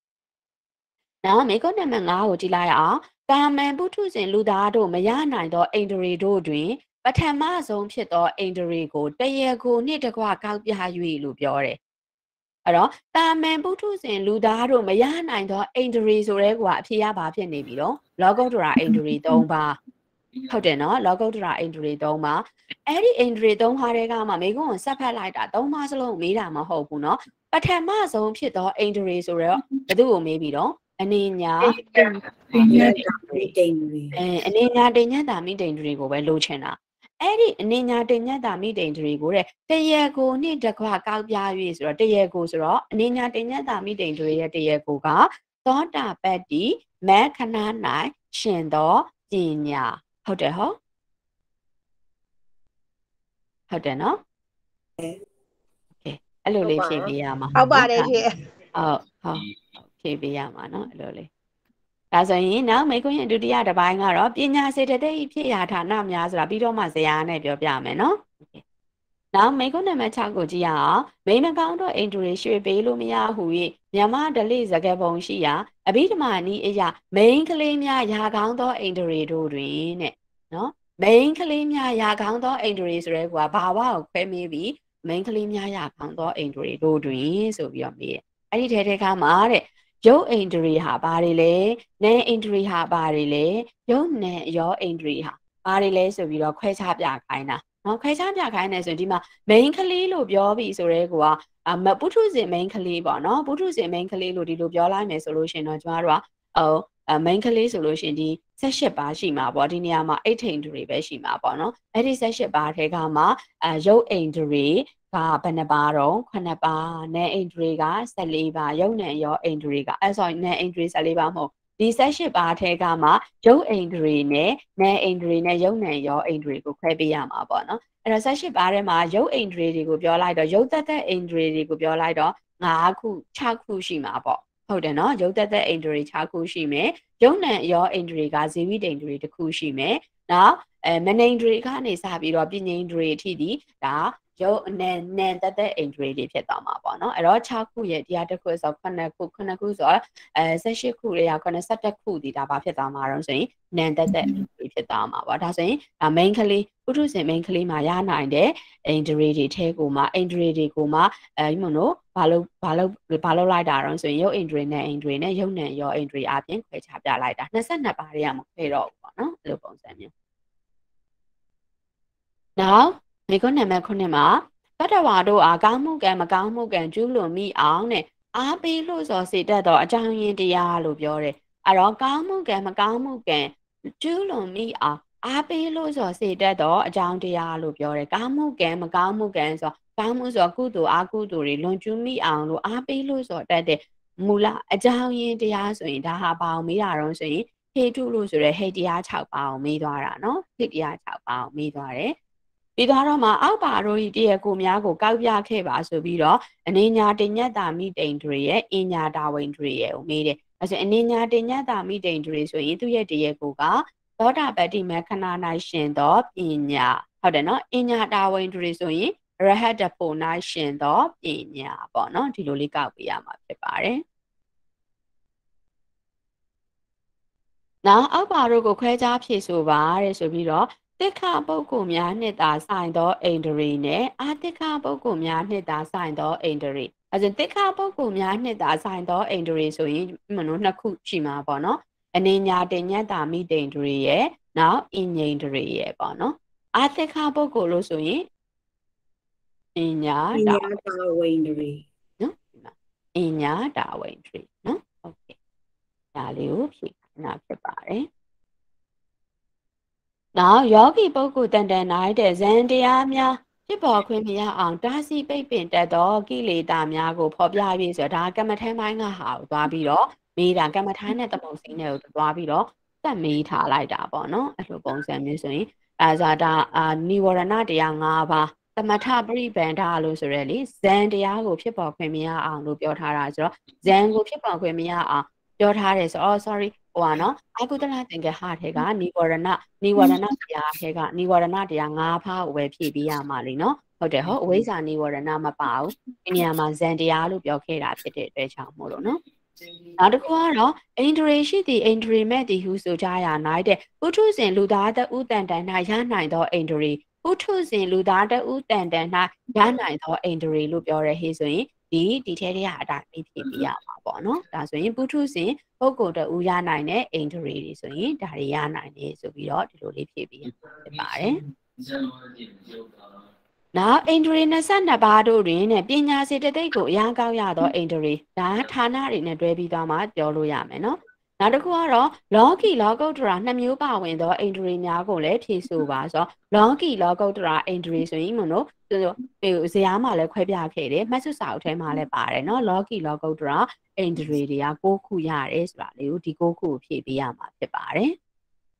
နောက်20နောက်17ပေါ့နော်ဒီဟာနှစ်ခုကကတ်သွားလို့နော်အိန္ဒြေ22ပါးတို့တွင်နဲ့သောတာပတ္တိမဂ္ဂထံပုဂ္ဂိုလ်၌သာရနိုင်သောအိန္ဒြေ သောတာပတ္တိမဂ္ဂထံပုဂ္ဂိုလ်သောတာပတ္တိမဂ္ဂထံပုဂ္ဂိုလ်ဆိုတာသောတာပတ္တိမဂ္ဂကိုရာဇဲခဏ၌တည်သောပုဂ္ဂိုလ်ကိုပြောတာသောတာပတ္တိမစိတ်ကလေးဖြစ်တဲ့ခဏမှာဖြစ်တဲ့ပုဂ္ဂိုလ်ဒီသောတာပတ္တိမတ်ပုဂ္ဂိုလ်ဆိုရင်ဒါပြောချင်တာကသောတာပတ္တိမစိတ်မှာရှိနေတဲ့အိန္ဒြေလို့ပြောတာဖြစ်ပါတယ်ဒါဆိုရင်အိန္ဒြေ22ပါးမှာသောတာပတ္တိမဂ္ဂထံပုဂ္ဂိုလ်၌သာရနိုင်သောအိန္ဒြေလို့ပြောရင်ဘယ်သူဖြစ်လာမလို့ဘယ်သူထွက်လာမလို့ ဘယ်သူထွက်လာမလို့ Ninya Tinyata ထွက်လာမှာပေါ့နော်အဲ့ဒါလေးကိုပြောပြောချင်တာအဖြေကအနညာတညက်တာမိတိန်တွေကိုလိုချင်တာဖြစ်ပါတယ်ဒါဆိုရင်အိန္ဒြေနဲ့22ပါးနဲ့ပတ်သက်ပြီးတော့မေးတတ်တဲ့မေးခွန်းပုံစံဒီလိုပုံစံမျိုးလေးတွေမိသွားတတ်တယ်နော်မိသွားတတ်တယ်ဆိုတော့အဲ့ဒါလေးတွေကဒါလေ့ကျင့်ထားရမယ်မေးခွန်းလေးတွေဖြစ်ပါတယ်လို့ရမလား Okay. ဒါဆိုရင်မနော်အိန္ဒြေအိန္ဒြေပြီးတော့ဗာဆက်သွားကြမလို့ဆိုရင်ဘိုးဆက်သွားကြတာပေါ့နော်ဘိုးနောက်ပိုင်းခန်းကြီးကတော့လွယ်သွားပါပြီမဆစ်စာအုပ်ရဲ့စာမျက်နှာ14ဘိုးတရား9ပါးကိုဆက်သွားရအောင်ဘိုးဆိုတာမြန်မာဝေါ်ဟာရဖြစ်သွားပြီပါဠိလိုဗလဆိုတဲ့နေရာကနေလာတာဟုတ်ပြီနော်ပါဠိလိုဗလဗလကနေမှဘိုးရယ်လို့ဖြစ်လာတာဖြစ်ပါတယ်အဲ့တော့ဘိုးတရား9ပါးဘိုးဆိုတာဘာကိုပြောတယ်လဲမိမိတို့ဆိုင်ရာကိစ္စများ၌ဟုတ်ပြီနော် မယိမ့်နေရမြဲခိုင်ကြသောတရားမယိမ့်နေရမြဲခိုင်ကြသောတရားဆိုတော့ခိုင်ခိုင်မြဲတယ်လို့ပြောချင်တာပေါ့နော်ခိုင်မြဲတဲ့တရားစန့်ကျင်ဘက်တရားများကို မတုံမလုံနောက်မဆုတ်ဖဲခိုင်ခိုင်မြဲရက်တီကတိုက်ဖြက်ချေမုန်းတုတ်တင်နိုင်သောစွမ်းအားတဲ့စွမ်းအားလို့ပြောတာဖြစ်တယ်အဲ့တော့စန့်ကျင်ဘက်တရားများကိုစန့်ကျင်ဘက်တရားများကို မတုံမလုံနောက်မဆုတ်ဖဲ ခိုင်ခိုင်မြဲရက်တီကတိုက်ဖြက်ချေမုံသုတ်တင်နိုင်တော့စွမ်းအားလို့ပြောတာဖြစ်ပါတယ်အဲ့တော့စန့်ကျင်ဘက်တရားဆိုတာကကုသိုလ်ကကုသိုလ်ဤစန့်ကျင်ဘက်ကဘယ်သူဖြစ်တုံးဆိုတော့အကုသိုလ်ပေါ့နော်အကုသိုလ်ဤစန့်ကျင်ဘက်ကဘယ်သူဖြစ်တာတုံးဆိုရင်ကုသိုလ်ပေါ့နော်အဲ့တော့ဒီလိုစန့်ကျင်ဘက်တရားတွေကိုဟုတ်ပြီနော်စန့်ကျင်ဘက်တရားတွေနဲ့ကြုံတွေ့လာခဲ့တယ်ဆိုရင်တော့မှာတဲ့မတုံမလုံနောက်မဆုတ်ပဲခိုင်ခိုင်မြဲရက်တီကတိုက်ဖြက်ချေမုံသုတ်တင်နိုင်တော့စွမ်းအားလို့ပြောတာဖြစ်ပါတယ် ဟုတ်ပြီနော်ဒါကြောင့်မလို့သူ့ကိုဥပမာပေးတော့ကြောက်စာတိုင်ကဲ့သို့ကြန့်ခိုင်မြဲမြံသောကြောင့်မလို့ဘာလို့ပြောတော့ဆိုရင်ဗလဘိုလို့ပြောတာဖြစ်ပါတယ်တဲ့ဟုတ်ပြီနော်ဟုတ်တယ်ဒရမိတ်ဆွေများမှာဘိုးတရားတွေရှိနေလို့ပေါ့နော်ဘိုးတရားတွေကြီးစိုးလာတဲ့ခါကျရင်အခုကတော့မိတ္တကသင်္ကဟမှာတော့အိမွန်ကကုသိုလ်ဘိုးတွေရောအကုသိုလ်ဘိုးတွေရောတွဲတွေ့ရမှာပေါ့နော်ဒါကြောင့်မလို့စန့်ကျင်ဘက်လို့သူကဒီလိုပြောတယ်အဲ့တော့ကုသိုလ်ဤစန့်ကျင်ဘက်က အကုသိုလ်ပေါ့အဲ့တော့အိမွန်တို့တွေဒီကုသိုလ်တွေလုံရင်းလုံရင်းနဲ့လုံနေစဉ်အချိန်တော်တွင်းမှာပဲတခါတရံမှာဘာတွေနဲ့ကြုံတွေ့ရတော့ဆိုရင်ကုသိုလ်ဤစန့်ကျင်ဘက်ဖြစ်သောအကုသိုလ်တရားတွေနဲ့ကြုံတွေ့ရတတ်တယ်ဆိုကြပါစို့တင်းတဲ့ကရှိပါတယ်ဆိုမှမိရပြက်အင်တာနက်ကမတက်ဆိုတဲ့အခါကျဟောမဖြစ်ဘူးတင်းတင်းကတော့တက်မှာဖြစ်မယ်ဘလို့ပဲဖြစ်ဖြစ်ရအောင်တက်မယ်ဆိုပြီးတော့ ဟုတ်ပြီနော်တကယ်တော့ကုသိုလ်လုပ်ဖို့ရတဲ့စန့်ကျင်မဲ့အကုသိုလ်ရဲ့အနှောက်အယှက်တွေနဲ့ဘာဖြစ်ရတာအောင်ဆိုရင်ကြုံတွေ့ရတာပဲလေနော်အဲ့ဒီလိုကြုံတွေ့ရတဲ့အခိုက်အတန့်မှာဟုတ်ပြီနော်မီးရပြတ်တယ်ဆိုလို့ရှိရင်လည်းမရမနေစူးစမ်းပြီးတော့မီးမီးလာတဲ့စီကိုသွားတယ်ပေါ့အင်တာနက်ကမရဘူးဆိုလည်းရတဲ့နေရာလိုက်သုံးတာပေါ့နော် Wi-Fi နဲ့မရရင် mobile data ဖွင့်သုံး သူ့ဖုန်းကမရရင်နောက်တစ်လုံးနဲ့သုံးပေါ့နော်အိမ်မှာရှိသမျှလူကုန်ပုံဖုန်းကိုသုံးလူဖုန်းအိမ်မှာရှိတဲ့လူတွေအကုန်လုံးရဲ့ဖုန်းကိုယူသူ့ data နဲ့မရရင်ဟုတ်ပြီနော်ဟို MPT နဲ့မရရင် Oridu နဲ့သုံး Oridu နဲ့မရရင် Telenor နဲ့သုံးပေါ့စသည်အားဖြင့်ပေါ့နော်အဲ့လိုမျိုးစန့်ကျင်ဘက်ပေါ့နော်ကုသိုလ်ပြုလုပ်ဖို့ရာအတွက်ဟိုဒီလိုနှောက်ရှက်တာအနှောက်ရှက်တွေနှောက်ရှက်နှောက်ရှက်တယ်လို့ပဲပြောတာပေါ့နော်တကယ်တော့လက်လျှော့လိုက်မယ်ဟေးဆိုရင်ဒီဒီကုသိုလ်ကလုံးဖြစ်မှာမဟုတ်ဘူးလေနော်အဲ့တော့အဲ့ဒါကိုလက်မလျှော့ပဲနဲ့ပေါ့နော်ကြံ့ကြံ့ခိုင်ပြီးတော့ပေါ့နော်သိရမလားတတ်တာဘိုဝရိယဘိုကကြီးစိုးလိုက်တဲ့အခါကျတော့ကောင်းတဲ့ကောင်းတဲ့တရားပေါ့နော်တတ်တာဘိုဝရိယဘိုတွေကဒီလိုမျိုးသွားပြီးတော့ကြီးစိုးလိုက်တဲ့အခါကျတော့ဒီလိုဆက်ကျင်မဲ့အကုသိုလ်အကျိုးတရားတွေနဲ့ကြုံတွေ့ခဲ့မယ်ဆိုရင်တောင်မှပဲဘာဖြစ်နိုင်လုံးဆိုတဲ့အခါကျရင်မတုံမလုံနောက်မဆုတ်ပဲနဲ့ခိုင်ခိုင်မြဲရက်တည်ပြီးတော့တိုက်ဖြတ်ချေမုံတုတ်တင်နိုင်တော့တရားဟာနောက်ဆုံးမှာတော့မီတင်နဲ့ကိုဗျန်းဆိုဝင်ချလာတာပေါ့တည်ရမှလားအဲ့လိုပုံစံပေါ့နော်ဒါဟာဘာပဲတော့ဆိုရင်ဗလဘိုရဲ့ စွမ်းအားတွေပေါ့စွမ်းအားတွေလို့ပြောတယ်ဒီမမနှစ်ကစာမွေးပွဲမနှစ်ကပေါ့နော်အဘိဓမ္မာတင်တော့ဆိုလို့ရှိရင်ဒီမနှစ်ကအဘိဓမ္မာတင်တော့နေမှာရောက်နေတာပေါ့နော်နေမှာရောက်နေတော့လေအရန်ဒုက္ခရောက်တယ်စာတင်ဖို့ကိုအားကိုအရန်စာတင်ခါနေတိုင်းမှာအမြဲတမ်းစိတ်ဖိစီးရတယ်ဘာဖြစ်တရက်လောက်ကြိုပြီးစိတ်ဖိစီးရတယ်ဘလို့စိတ်ဖိစီးရတော့ဆိုတဲ့အခါကျအီမွန်အီမွန်အီမွန်ရဲ့ရွာလေးကတော်တော်ကိုမှခေါင်တာလीမြို့နဲ့ဆိုလဲအဝေးကြီးပဲ နောက်ပြီးတော့အဲ့ဒီဟိုပေါ့အေးအဲ့ဒီမြဝကျွန်းမော်ဒေတာဘက်ကဆိုတော့မီးလည်းမရဘူးလေတစ်သက်လုံးကမီးမရခဲ့တာပေါ့နော်အခုလည်းမရဘူးပေါ့နော်အဲ့လိုဆိုတော့ဒီ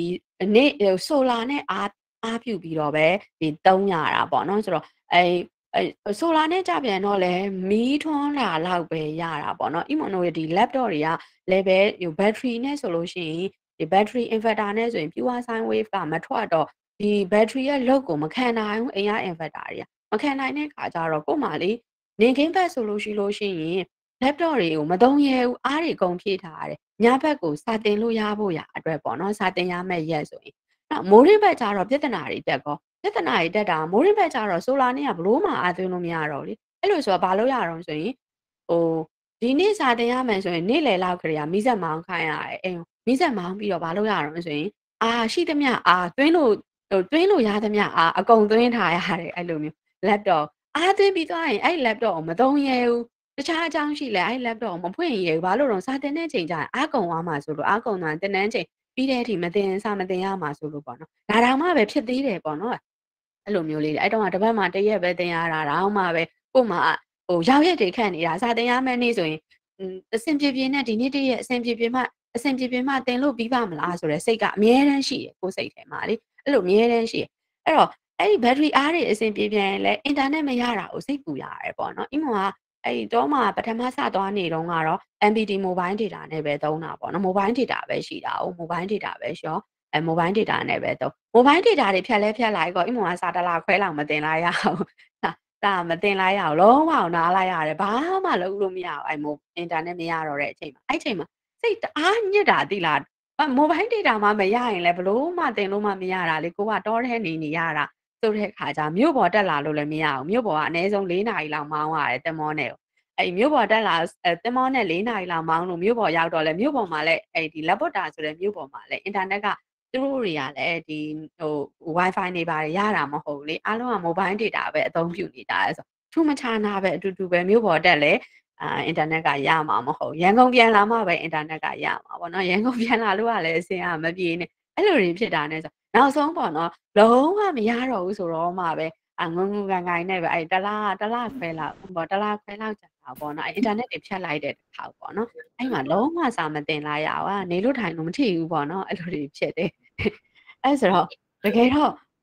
နောက်စာတင်လို့ရတော့လေအဲ့လိုပဲ mobile data နဲ့ mobile data နဲ့ဖွင့် mobile data နဲ့မရရင်နောက်နောက်တော့ Oridu ဒီ SuperNet ကလေးနဲ့ပြောင်းတော့ အဲ့ဒါတစ်ခါတစ်ခေါက်တစ်ခေါက်အဲ့ဒီ internet ချိန်ထားပြီဆိုရင်အဲ့ဒီ SuperNet ကိုကြည့်ရတာဘန် power bank အားကုန်ရဲ့လားအဲစူပါနက်ကပြုတ်သွားပြီဟေ့ဆိုလို့ရှိရင်ကိုယ့်ဖုန်းနဲ့ mobile data ကိုချိန်ကိုယ့်ဖုန်းနဲ့မရရင်မမေဖုန်းနဲ့ယူချိန်မမေဖုန်းနဲ့မရလို့ရှိလို့ရှိရင်ပပဖုန်းနဲ့ယူချိန်ပေါ့နော်အဲ့လိုမျိုးအိမ်မှာရှိတဲ့မြလူတွေအကုန်လုံးရဲ့ mobile package တွေကိုဖြည့်ထားရတယ်ဟိုလိုတဲ့အချိန်ကြာလို့ရှိလို့ရှိရင်ဘာဖြစ်အောင်လို့ဆိုအစင်းသင်းဖြစ်အောင်လို့ပေါ့နော်အဲ့လိုစာတစ်ခါတင်ဖို့တစ်ရက်လောက်ကလေးစာတင်ဖို့လေ တော်တော်ကိုပဲမလုပ်ရတော့ဆိုတဲ့အခါကျရင်လေပြင်ရစင်ရတာလေအဲ့လောက်ပြင်ဆင်ထားပြီးသွားရင်လည်းဖြစ်မှဖြစ်ပါမလားတင်လို့မှပြီးပါမလားဆိုတဲ့စိတ်မျိုးတွေလေအမြဲတမ်းရှိခဲ့ရတာပေါ့နော်အဲ့တော့တကယ်တော့အဲ့ဒါလည်းဟိုဘာတွေပဲတော့ဆိုကုသိုလ်လုပ်ဖို့ရာအတွက်ပေါ့နော်စန့်ကျင်ဘက်တရားတွေပဲပေါ့ဒါပေမဲ့အဲ့လိုစန့်ကျင်ဘက်တရားတွေတွေ့လဲအိမ်မောကတော့လေလုံးဝသိပြီးဟိုဘယ်လိုခေါင်းလို့ဆိုအိမ်မောကနည်းနည်းခေါင်းချောမာတဲ့ထဲမှာပါတာပေါ့နော်ခေါင်းချောကတော်တော်မာမရရအောင်တင်မယ်ဆိုပြီးတော့ပြောတာပေါ့နော် အဲ့ဒါဟိုမြို့သားဆိုဘယ်လိုပြောတော့ဆိုရင်တခြားတခြားဟာတာပေါ့နော်လက်လျှော့ပြီးတော့မလုပ်ရင်မလုပ်တာအဲ့ဒီစတင်ရမယ့်ဟာဆိုရင်လေ laptop တစ်လုံးပိုက်ပြီးတော့တင်လို့ရမယ့်အိမ်မှာလိုက်တင်တာပေါ့နော်အဲ့လိုအဲ့လိုမျိုး laptop တစ်လုံးရှိမှဘယ်နေရာရောက်ရောက်စတင်လို့ရတယ်လေအဲ့ဒါဆိုအဲ့ဒီ laptop တစ်လုံးပါသွားလေရအဲ့ laptop တည့်တယ်အဲ့ laptop တစ်လုံးရှိရင်စတင်လို့ရပြီဆိုတော့အဲ့သွားလေရအဲ့ laptop တည့်ပြီးတော့ရောက်တဲ့နေရာမှာတင်လို့ဖြစ်တဲ့နေရာမှာသတ်တင်တာပေါ့နော်အဲ့လိုမျိုးအဲ့တော့ အမျိုးသားကပြောတယ်တခြားအလုပ်လုပ်တဲ့ခါကြလို့ရှိရင်လည်းအဲ့လိုလေးလုပ်ပါလားတဲ့မဖြစ်ဖြစ်အောင်ပေါ့နော်စာတင်မဲ့ဟေ့ဆိုရင်မဘယ်နေရာရောက်ရောက်တင်တယ်ပေါ့နော်မရရအောင်တင်တယ်ပေါ့နော်အဲ့လိုတခြားအလုပ်လည်းအဲ့လိုမျိုးလုပ်ပါလားမရရအောင်ဆိုမဟုတ်ဘူးလေတဲ့ဟွာမဟုတ်ဘူးလေလို့ဒါကိုကိုကိုအကြောင်းနဲ့ကိုပဲနေနော်ကိုဝါသနာပါတာကိုကြိုက်တာကိုလုပ်တာကိုကြိုက်တာလေးလုပ်နေရရင်ဘလို့ဖြစ်ဖြစ်ရအောင်လုပ်ပါလေလူတွေကစူးစမ်းပါပေါ့နော်အဲ့လိုပုံစံ အများကြီးပါပဲအများကြီးပါပဲတွေ့ကြုံရတာကြုံခဲ့ရတာဒီမိနစ်ကစာတင်ရတဲ့အဖြစ်အပျက်တွေပေါ့โอเคဒါကတော့အဲ့ဒါကတော့စန့်ကျင်ဘက်တရားလို့ပြောတာပြောချင်တာတော့စန့်ကျင်ဘက်တရားပေါ့နော်ကိုကတော့ကုသိုလ်ရဲ့စန့်ကျင်ဘက်ဆိုတော့အာကုသိုလ်ပဲလှမ်းမြင်လိုက်တာပေါ့အဲ့ဒီလိုမျိုးအာကုသိုလ်စန့်ကျင်ဘက်တရားတွေနဲ့ကြုံတွေ့လာခဲ့တယ်ဆိုရင်လည်းပဲပေါ့နော်အဲဒါအဲမတုံမလုံးအဲလွယ်လွယ်နဲ့လက်မလျှော့ဘူးနောက်မဆုတ်ဖဲနဲ့အဲဒါခိုင်ခိုင်မြဲမြဲနဲ့ အာဟိုလုံနိုင်တဲ့စွမ်းအားဒီဒါပါပဲတော့ဆိုရင်ဗလဘိုပဲလို့ပြောတာဖြစ်ပါတယ်เนาะဗလဘိုလို့ပြောတာဖြစ်ပါတယ်ဒါဆိုရင်ねဟောကြားရခဲ့တဲ့တရားတော်တွေအားလုံးမှာဘိုးတရားထိုက်တဲ့ပေါ့နော်ဘိုးဗလလို့အမိရတဲ့တရားဒီကိုခုရှိတယ်တဲ့ဘိုးတရားကိုပါပေါ့နော်ဟောကြားရခဲ့တော့တရားလို့ဆိုရဲကိုကလေဒီမမိတ်ဆွေများ အဲအဘိဓမ္မာတရားအဘိဓမ္မာတရား၅ပါးရှိတယ်ဟုတ်အဲ့ဒီအဘိဓမ္မာတရား၅ပါးထဲမှာပရမတ္ထအနေနဲ့ကျင်ပရမတ္ထတရားဒီ၄ပါးရှိတယ်မဟုတ်လားဟုတ်တယ်နော်အဲ့ဒီပရမတ္ထတရားဒီစိတ်89ပါးရှိမယ်စေတသိက်52ပါးရှိမယ်ယုံ28ပါးရှိမယ်နိဗ္ဗာန်1ပါးရှိတယ်ဟုတ်တယ်နော်ပရမတ္ထတရားဘယ်နှပါးရှိတော့ဆိုရင်၄ပါးရှိအဲ့ဒီပရမတ္ထတရား၄ပါးထဲမှာမှဟေတုလို့ဆိုရဲဟိတ်အမိကိုရတာဒီ6ပါးပဲရှိတယ် ဟုတ်ပြီနော်လောဘဟိတ်3 sorry ကုသိုလ်ဟိတ်3ပါးနဲ့အာကုသိုလ်ဟိတ်3ပါးဟေတုဆိုတဲ့အမိရတယ်နော်နောက်တစ်ခုကကြတော့ဟေတုပြီးတော့ဇာနာဇာနင်တရားအနေနဲ့ဆိုရင်ဒီရှိရှိသမျှသောပရမတ္ထတရားစိတ်89စေတသိက်52ယုံ28နော်နိဗ္ဗာန်1ပေါ့89 52 28တစ်လို့ဆိုရဲဒီပရမတ္ထတရားတွေထဲမှာဇာနင်လို့အမည်ရတဲ့တရားတွေဇာနင်တရား9ပါးတရားကိုအနေနဲ့ကောက်ကောက်ပြလိုက်ဘယ်နှပါးပဲရှိရတော့9ပါးပဲရှိရပေါ့အဲ့ဒီလိုပဲ ဟုတ်ပြီနော်ဟိတ်စာမက်ခဒီပရမတ္ထတရား89 50နဲ့28နိဗ္ဗာန်1ပေါ့နော်89 50နဲ့28တစ်ဆိုရဲဒီတရားပရမတ္ထတရားအလုံးစုံသောပရမတ္ထတရားတွေထဲမှာမက်ကင်လို့အမည်ရတဲ့တရားလမ်းကြောင်းတစ်ဖွဲ့ဖြစ်တဲ့မက်ကင်လို့အမည်ရတဲ့တရားဟာ12ပါးပဲထွက်တယ်အဲ့ဒီ12ပါးထဲမှာမှာတမ္မာမက်ခင်ဒီ10ပါးမိစ္ဆာမက်ခင်ဒီ4ပါးဒီလိုမျိုးတွေ့ခဲ့မက်ခင်လို့အမိထိုက်ညရတာမက်ခင်ထိုက်တော့တရားဒီ12ပါးပေါ့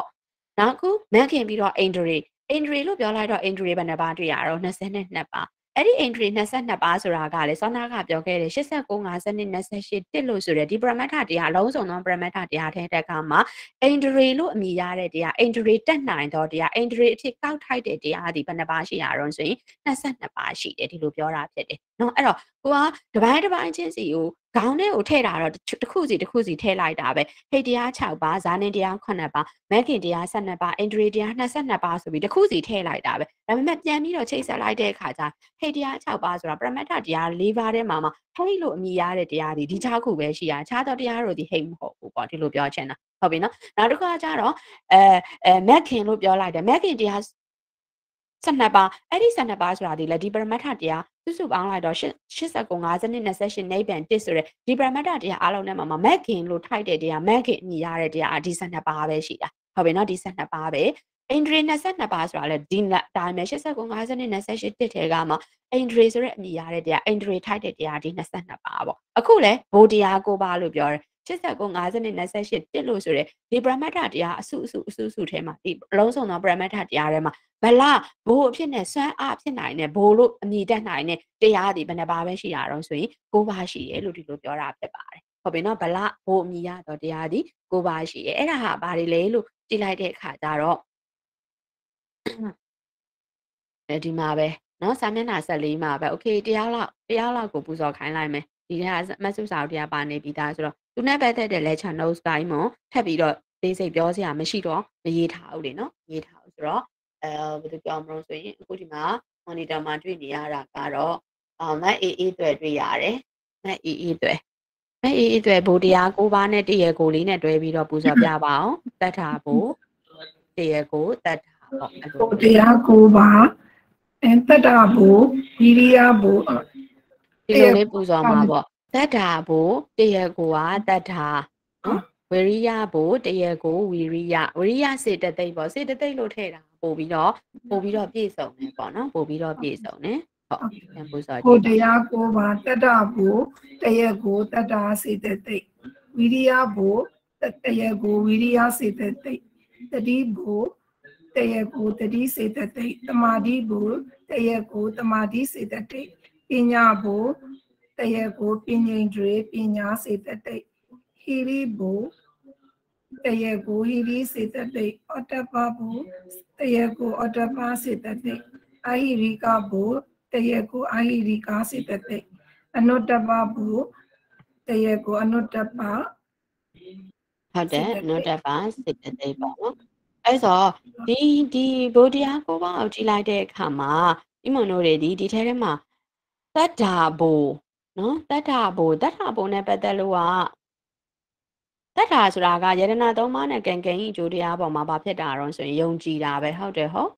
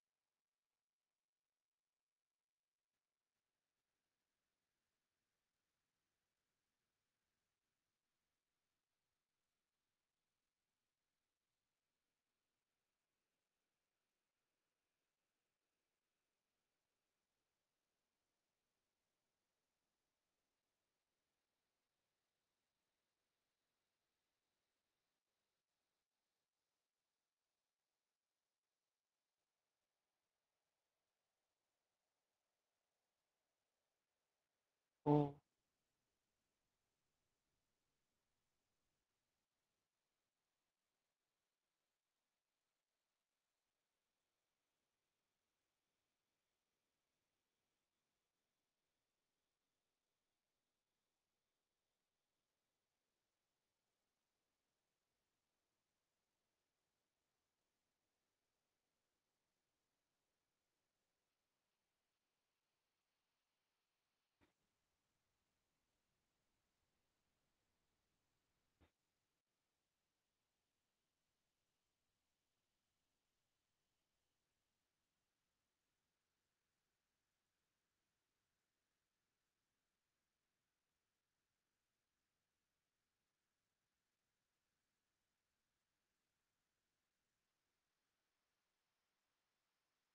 အဲ့တော့ဒီမှာကြည့်ရင်ဘိုးတရား၉ပါးပေါ့နော်ဘိုးတရား၉ပါးနဲ့ကြည့်လိုက်လို့ရှရင်တတ္ထာဘိုတတ္ထာဘိုဆိုတာကယုံကြည်ခြင်းမှာခိုင်မြဲသောတရားပေါ့အဲ့တော့ဘိုးဆိုတဲ့သဘောကမြဲခိုင်နေခိုင်မြဲတယ်လို့ဒီလိုပြောတာဖြစ်တဲ့အတွက်ကြောင့်မလို့တတ္ထာဘိုဆိုတာယုံကြည်မှုဟူသောခိုင်မြဲသည့်တရားသည်ဒါတတ္ထာဘိုလို့ပြောတာဖြစ်တယ်တရားကိုအနေနဲ့ဆိုရင်တတ္ထာစေတသိက်ကိုကောက်ယူတာပေါ့နော်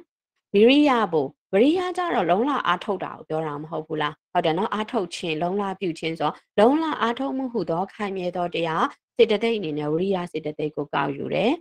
တတိဘိုတတိဘိုဆိုတာကတော့အမှတ်ရမှုဟုသောဟုတ်ပြီနော်တတိဆိုတာကအမှတ်ရတာကုသိုလ်ကောင်းမှုပြုလုပ်ဖို့ရအတွက်မမေ့မလျော့ဘူးအမှတ်ရနေတာကတတိလို့တတိစေတသိက်ရဲ့တက်ခဲ့တယ်မဟုတ်လားအနက်နဲ့ပတ်သက်ပြီးတော့ဟုတ်တယ်နော်ဒါဆိုရင်တတိဘိုဆိုတာဒီအမှတ်ရမှုဟူသောခိုင်မြဲသောတရား တမာတိဘိုတမာတိဆိုတာကတည်ကြည်တာကိုပြောတာလေဟုတ်တယ်နော်တမာတိဆိုတာတည်ကြည်တာအဲ့ဒါဆိုရခိုင်ခန့်တာပေါ့နော်အဲ့တော့အာယုံအာယုံတစ်ခုတည်းပေါ်မှာပဲ suicide တည်ကြည်နေတာဟာတမာတိလို့ပြောတာဖြစ်တဲ့အတွက်ကြောင့်မလို့တည်ကြည်မှုဟူသောခိုင်မြဲသောတရားလို့ပြောတာဖြစ်ပါတယ်ခိုင်မြဲသောတရားတရားကိုအနေနဲ့တမာတိစေတသိက်ကိုကောက်တယ်နောက်ပညာဘိုပညာဘိုကထိုးထွင်းတည်ခြင်းဟူသောခိုင်မြဲသောတရား ထိုးထွင်းသိမြင်ခြင်းနိုင်ပေါ့နော်ထိုးထွင်းသိမြင်ခြင်းနိုင်အာခိုင်မြဲတဲ့တရားဒါမှန်ကိုမှန်တယ်ဒါလို့ပဲယူရမယ်ဆိုပြီးဒီလိုမျိုးခိုင်ခိုင်မြဲမြဲဖြစ်တာဒီဒါဟာဘာပဲတော့ဆိုရင်ပညာပညာတွေလို့ပြောတာဖြစ်ပါတယ်တို့လောတို့လောမရှိဘူးပေါ့နော်နော်ဟီရိဘိုဟီရိဘိုကမကားမှု၌အဆက်ရှိခြင်းဟူသောဟီရိဆိုတာကရာမင်းရှင်များတည်ထားပြီးသားစေတသိက်52ပါးတဲ့ကသောဘနာတာတာရဏစေတသိက်19ပါးထဲမှာပါတာမဟုတ်လားဟုတ်တယ်နော်အလုံးစုံသောသောဘနာစိတ်တိုင်းမှာရှင်းတာလေ ဒါကြောင့်မလို့ဟီရိဘိုမကောင်းမှု၌အဆက်ရှိခြင်းဟူသောခိုင်မြဲသောတရားဟုတ်ပြီနော်ဒါဟာရှက်ကိုရှက်ရမယ်လုံးဝမလုံးတင်ဘူးဘယ်သူလာပြောပြောအဲတခါတလေလေးပါဟဲ့လုံးလိုက်ပါနှုံမရဘူးဟုတ်ပြီနော်ဒါဟာရှောင်ကျင်ရမယ်တရားဖြစ်တယ်ဆိုပြီးတော့စသည်ဖြင့်မကောင်းမှုဒုစရိုက်ပြုလုပ်ရမှာအဆက်ရှိခြင်း၌ခိုင်မြဲသောတရားသည်ဟီရိဘိုဖြစ်တယ်ဟီရိလို့ပြောတာဖြစ်ပါတယ်နော်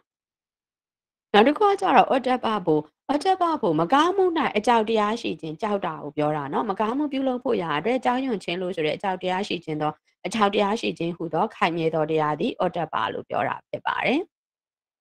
နောက်တစ်ခုကတော့အဟိရိကဘိုအဟိရိကဘိုဆိုတာကတော့မကောင်းမှု၌โอเคအရှက်မရှိခြင်းအရှက်လို့ပြောရမှာเนาะအရှက်မရှိခြင်းဟူသောပေါ့เนาะမကောင်းမှုပြုလုပ်ရမှာကိုအော် sorry ရှိခြင်းเนาะ အာဟီရီကာဆိုတာဟီရီအတက်ပါ sorry အာဟီရီကာကမကားမှုဒုစရိုက်ပြုလုပ်ရမှာကို အရှက်မရှိတာနော်အနော့တက်ပါဆိုတာကမကားမှုမကားမှုဒုစရိုက်နဲ့အကြောက်တရားအော်ဒါလေးကလွဲနေပြန်တာပဲဟုတ်တယ်နော် theory အတက်ပါအတက်ပါဆိုတာဟိုဟာသောဗနာတာတာရဏနနရဏတွေနော်အာဟီရီကနဲ့အနောတက်ပါကကြတော့ဒါကမောစတုတ်စီတဲ့နော်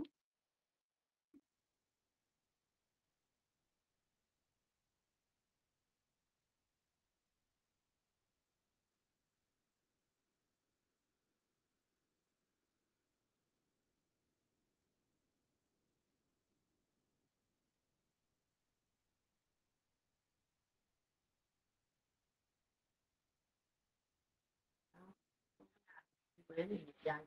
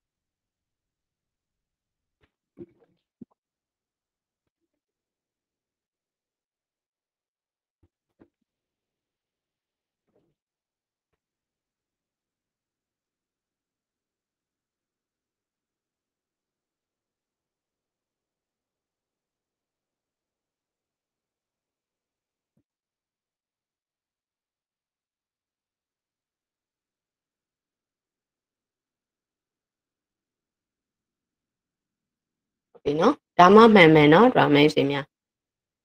အဟိရိကဘိုမကောင်းမှု၌အရှက်မရှိခြင်းဟူသောမကောင်းမှုပြုလုပ်ရမှာကိုနည်းနည်းမှအရှက်မရှိတာပေါ့နော်မကောင်းမှုပြုလုပ်ရမှာကိုမကောင်းမှုဒုစရိုက်ပြုလုပ်ရမှာကိုနည်းနည်းလေးမှအကြောင်းအလဲမရှိတာပေါ့နော်အဲ့ဒီလိုမျိုးတရားတွေဘက်မှာဖန်ခိုင်မြင်းမြဲဖြစ်တော်တရားပေါ့ဒါကြောင့်မလို့အဟိရိကဘိုအနုတ္တပဘိုလို့ဒီလိုပြောတာဖြစ်ပါတယ်နော်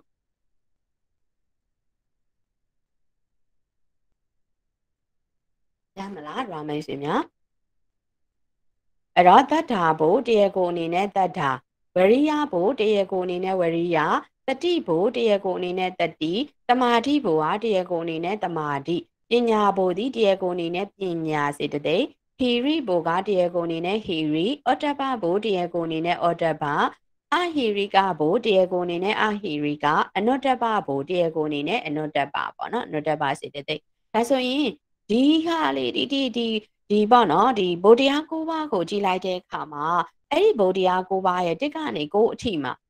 တတ္ထာဘုတတ္ထာဆိုတဲ့စေတသိက်ကလေးပေါ့နော်အဲ့တော့ဒီတတ္ထာဆိုတဲ့စေတသိက်ကလေးဒီဒီတတ္ထာဆိုတော့စေတသိက်ကလေးဒီသောဗနာတာဓာရဏစေတသိက်ဖြစ်တာဆိုတဲ့အခါကျတော့သောဗနာတာဓာရဏစေတသိက်ဖြစ်တာဆိုတဲ့အခါကျတော့ဒီတတ္ထာစေတသိက်ကလေးဒီကုသိုလ်မှာလဲကုသိုလ်ဝိဘက်ကရိယာဒီစိတ်တွေမှာရှင်တာမဟုတ်ဘူးလားဟုတ်တယ်နော်သောဗနာ သောဗနာတာဓာရဏစေတသိက်ဆိုတော့သောဗနာသောဗနာစိတ်59ပါးနဲ့ရှင်တာလေဟုတ်တယ်နော်သောဗနာစိတ်59ပါးနဲ့ရှင်တော့သောဗနာစိတ်59ပါးဆိုတာဒီကုသိုလ်စိတ်တွေရှိမယ်ဝိဘက်ကရိယာစိတ်တွေရှိမယ်ဆိုတော့ကုသိုလ်သို့မဟုတ်ဗျာကတပေါ့နော်တနည်းပြောမယ်ဆိုရင်တော့ဒါအဗျာကတကိုခဏမိထားလိုက်မယ်ခဏမိထားလိုက်မယ်နော်ကုသိုလ်ကုသိုလ်လို့ပြောလို့ရတယ်နောက်တစ်ခုကကျတော့ဝိရိယစေတသိက်ကလေးကိုကြည့်ရအောင်ဝရိယ အဲ့တော့အဲ့ဒီဝရိယစေတသိက်ကလေးကကြတော့ဝရိယသည်ဘယ်စေတသိက်ထဲမှာပါတော့အညတမန်စေတသိက်73ပါးထဲမှာပါတာဟုတ်သလား ပါတယ် ဟုတ်တယ်နော်အညတမန်စေတသိက်73ပါးထဲမှာပါတာဖြစ်တဲ့အတွက်ကြောင့်မလို့ဒီဝရိယစေတသိက်ကလေးဒီကုသိုလ်မှာလည်းရှင်တယ်အကုသိုလ်မှာလည်းရှင်တယ်မဟုတ်ဘူးလား ပါတယ် ဟုတ်ပါ ဟုတ်တယ်နော်ဟုတ်တယ်နော်ဒါဆိုရင်ဒီဝရိယစေတသိက်ကလေးဒီကုသိုလ်မှာလည်းရှင်တယ်အကုသိုလ်စိတ်မှာလည်းရှင်တယ်ဟုတ်တယ်နော်โอเค နောက်တတိစေတသိက်ကိုသွားရအောင်တတိတတိစေတသိက်ကလေးဒီဘယ်စေတသိက်အုပ်စုထဲမှာပါတာတော့သောဗနာတာဒါရဏဟုတ်တယ်နော်သောဗနာစိတ်တွေနဲ့ပဲရှင်တာမဟုတ်ဘူးလားအဲဆိုရင်ကုသိုလ်အကုသိုလ်အနေနဲ့ခွဲမယ်ဆိုရင်တတိဒီပဲစိတ်မှာပဲရှင်မလို့ဘယ်စိတ်တွေမှာရှင်တော့သောဗနာစိတ်တွေတဲကကုသိုလ်စိတ်တွေမှာရှင်တယ်နော်ဝိဘက်ကရိယာစိတ်တွေမှာလည်းရှင်တယ်နော်သို့တော့အိမ်ကအဗျာကတကိုမဆွဲထုတ်ပြချင်လို့မလို့ဗျာကတကိုခဏထားထားလိုက်တာနော်ကုသိုလ်အပြင်အကုသိုလ်အပြင်ပဲခွဲကြခွဲပြချင်တာဟုတ်နော်နောက်တစ်ခုတမာတိ တမာတိဆိုတာတနည်းပြောမယ်ဆိုရင်ဒါဒီဧကကတာစေတသိက်ကိုကောက်ရမှာဟုတ်ပြီနော်ဧကကတာအဲဆိုရင်ဧကကတာစေတသိက်ကလေးဘယ်စေတသိက်အုပ်စုထဲမှာပါတော့ဆိုရင်အညတမန်စေတသိက်အုပ်စုထဲမှာပါတာနော်အညတမန်ဆိုတဲ့အခါကျတော့ကုသိုလ်စိတ်မှာလည်းရှင်မယ်ဘယ်စိတ်မှာလည်းရှင်အောင်မလို့အကုအသိုလ်ကုစိသိုတ်လ်မှာမှာလည်းလည်းရှင်ရှင်တယ်ဟုတ်တယ်နော်ကုသိုလ်ရောအကုသိုလ်ရောကိုယ့်ဘာသာကိုယ်မဆုစာအုပ်ထဲမှာလည်းရေးထားနော်ရေးထားကုသိုလ်အကုသိုလ်နောက်ပညာပညာတွေပညာတွေစေတသိက်ပညာစေတသိက်ဘယ်စိတ်တွေနဲ့ရှင်တာတော့ သောပနတာတာရဏမှာအဲသောဗနာတာဒါရဏထဲကပဲရှင်တာမဟုတ်ဘူးလားဟုတ်တယ်နော်သောသောဗနာစိတ်တွေနဲ့ပဲရှင်တယ်လေပညာဆိုတဲ့သဘောဒီအကုသိုလ်စိတ်မှာမရှင်ဘူးအကုသိုလ်စိတ်မှာရှင်နေတဲ့ပညာအဲ့ဒါပညာမဟုတ်ဘူးလေနော်မိစ္ဆာပဲလေနော်အဲ့ဒါလို့ဆိုတဲ့အခါကျတော့အခုပညာပညာတွေကြတော့ဒါသောဗနာစိတ်တွေနဲ့ပဲရှင်တာဆိုတော့ကုသိုလ်စိတ်တွေနဲ့ပဲရှင်တယ်ပေါ့နော်ကုသိုလ်လို့ကောက်မယ်နောက်ဟီရိဟီရိအော်တဘာနှစ်ခုစလုံးဒီသောဗနာတာဒါရဏစေတသိက်အုပ်စုတွေဟုတ်တယ်မို့လား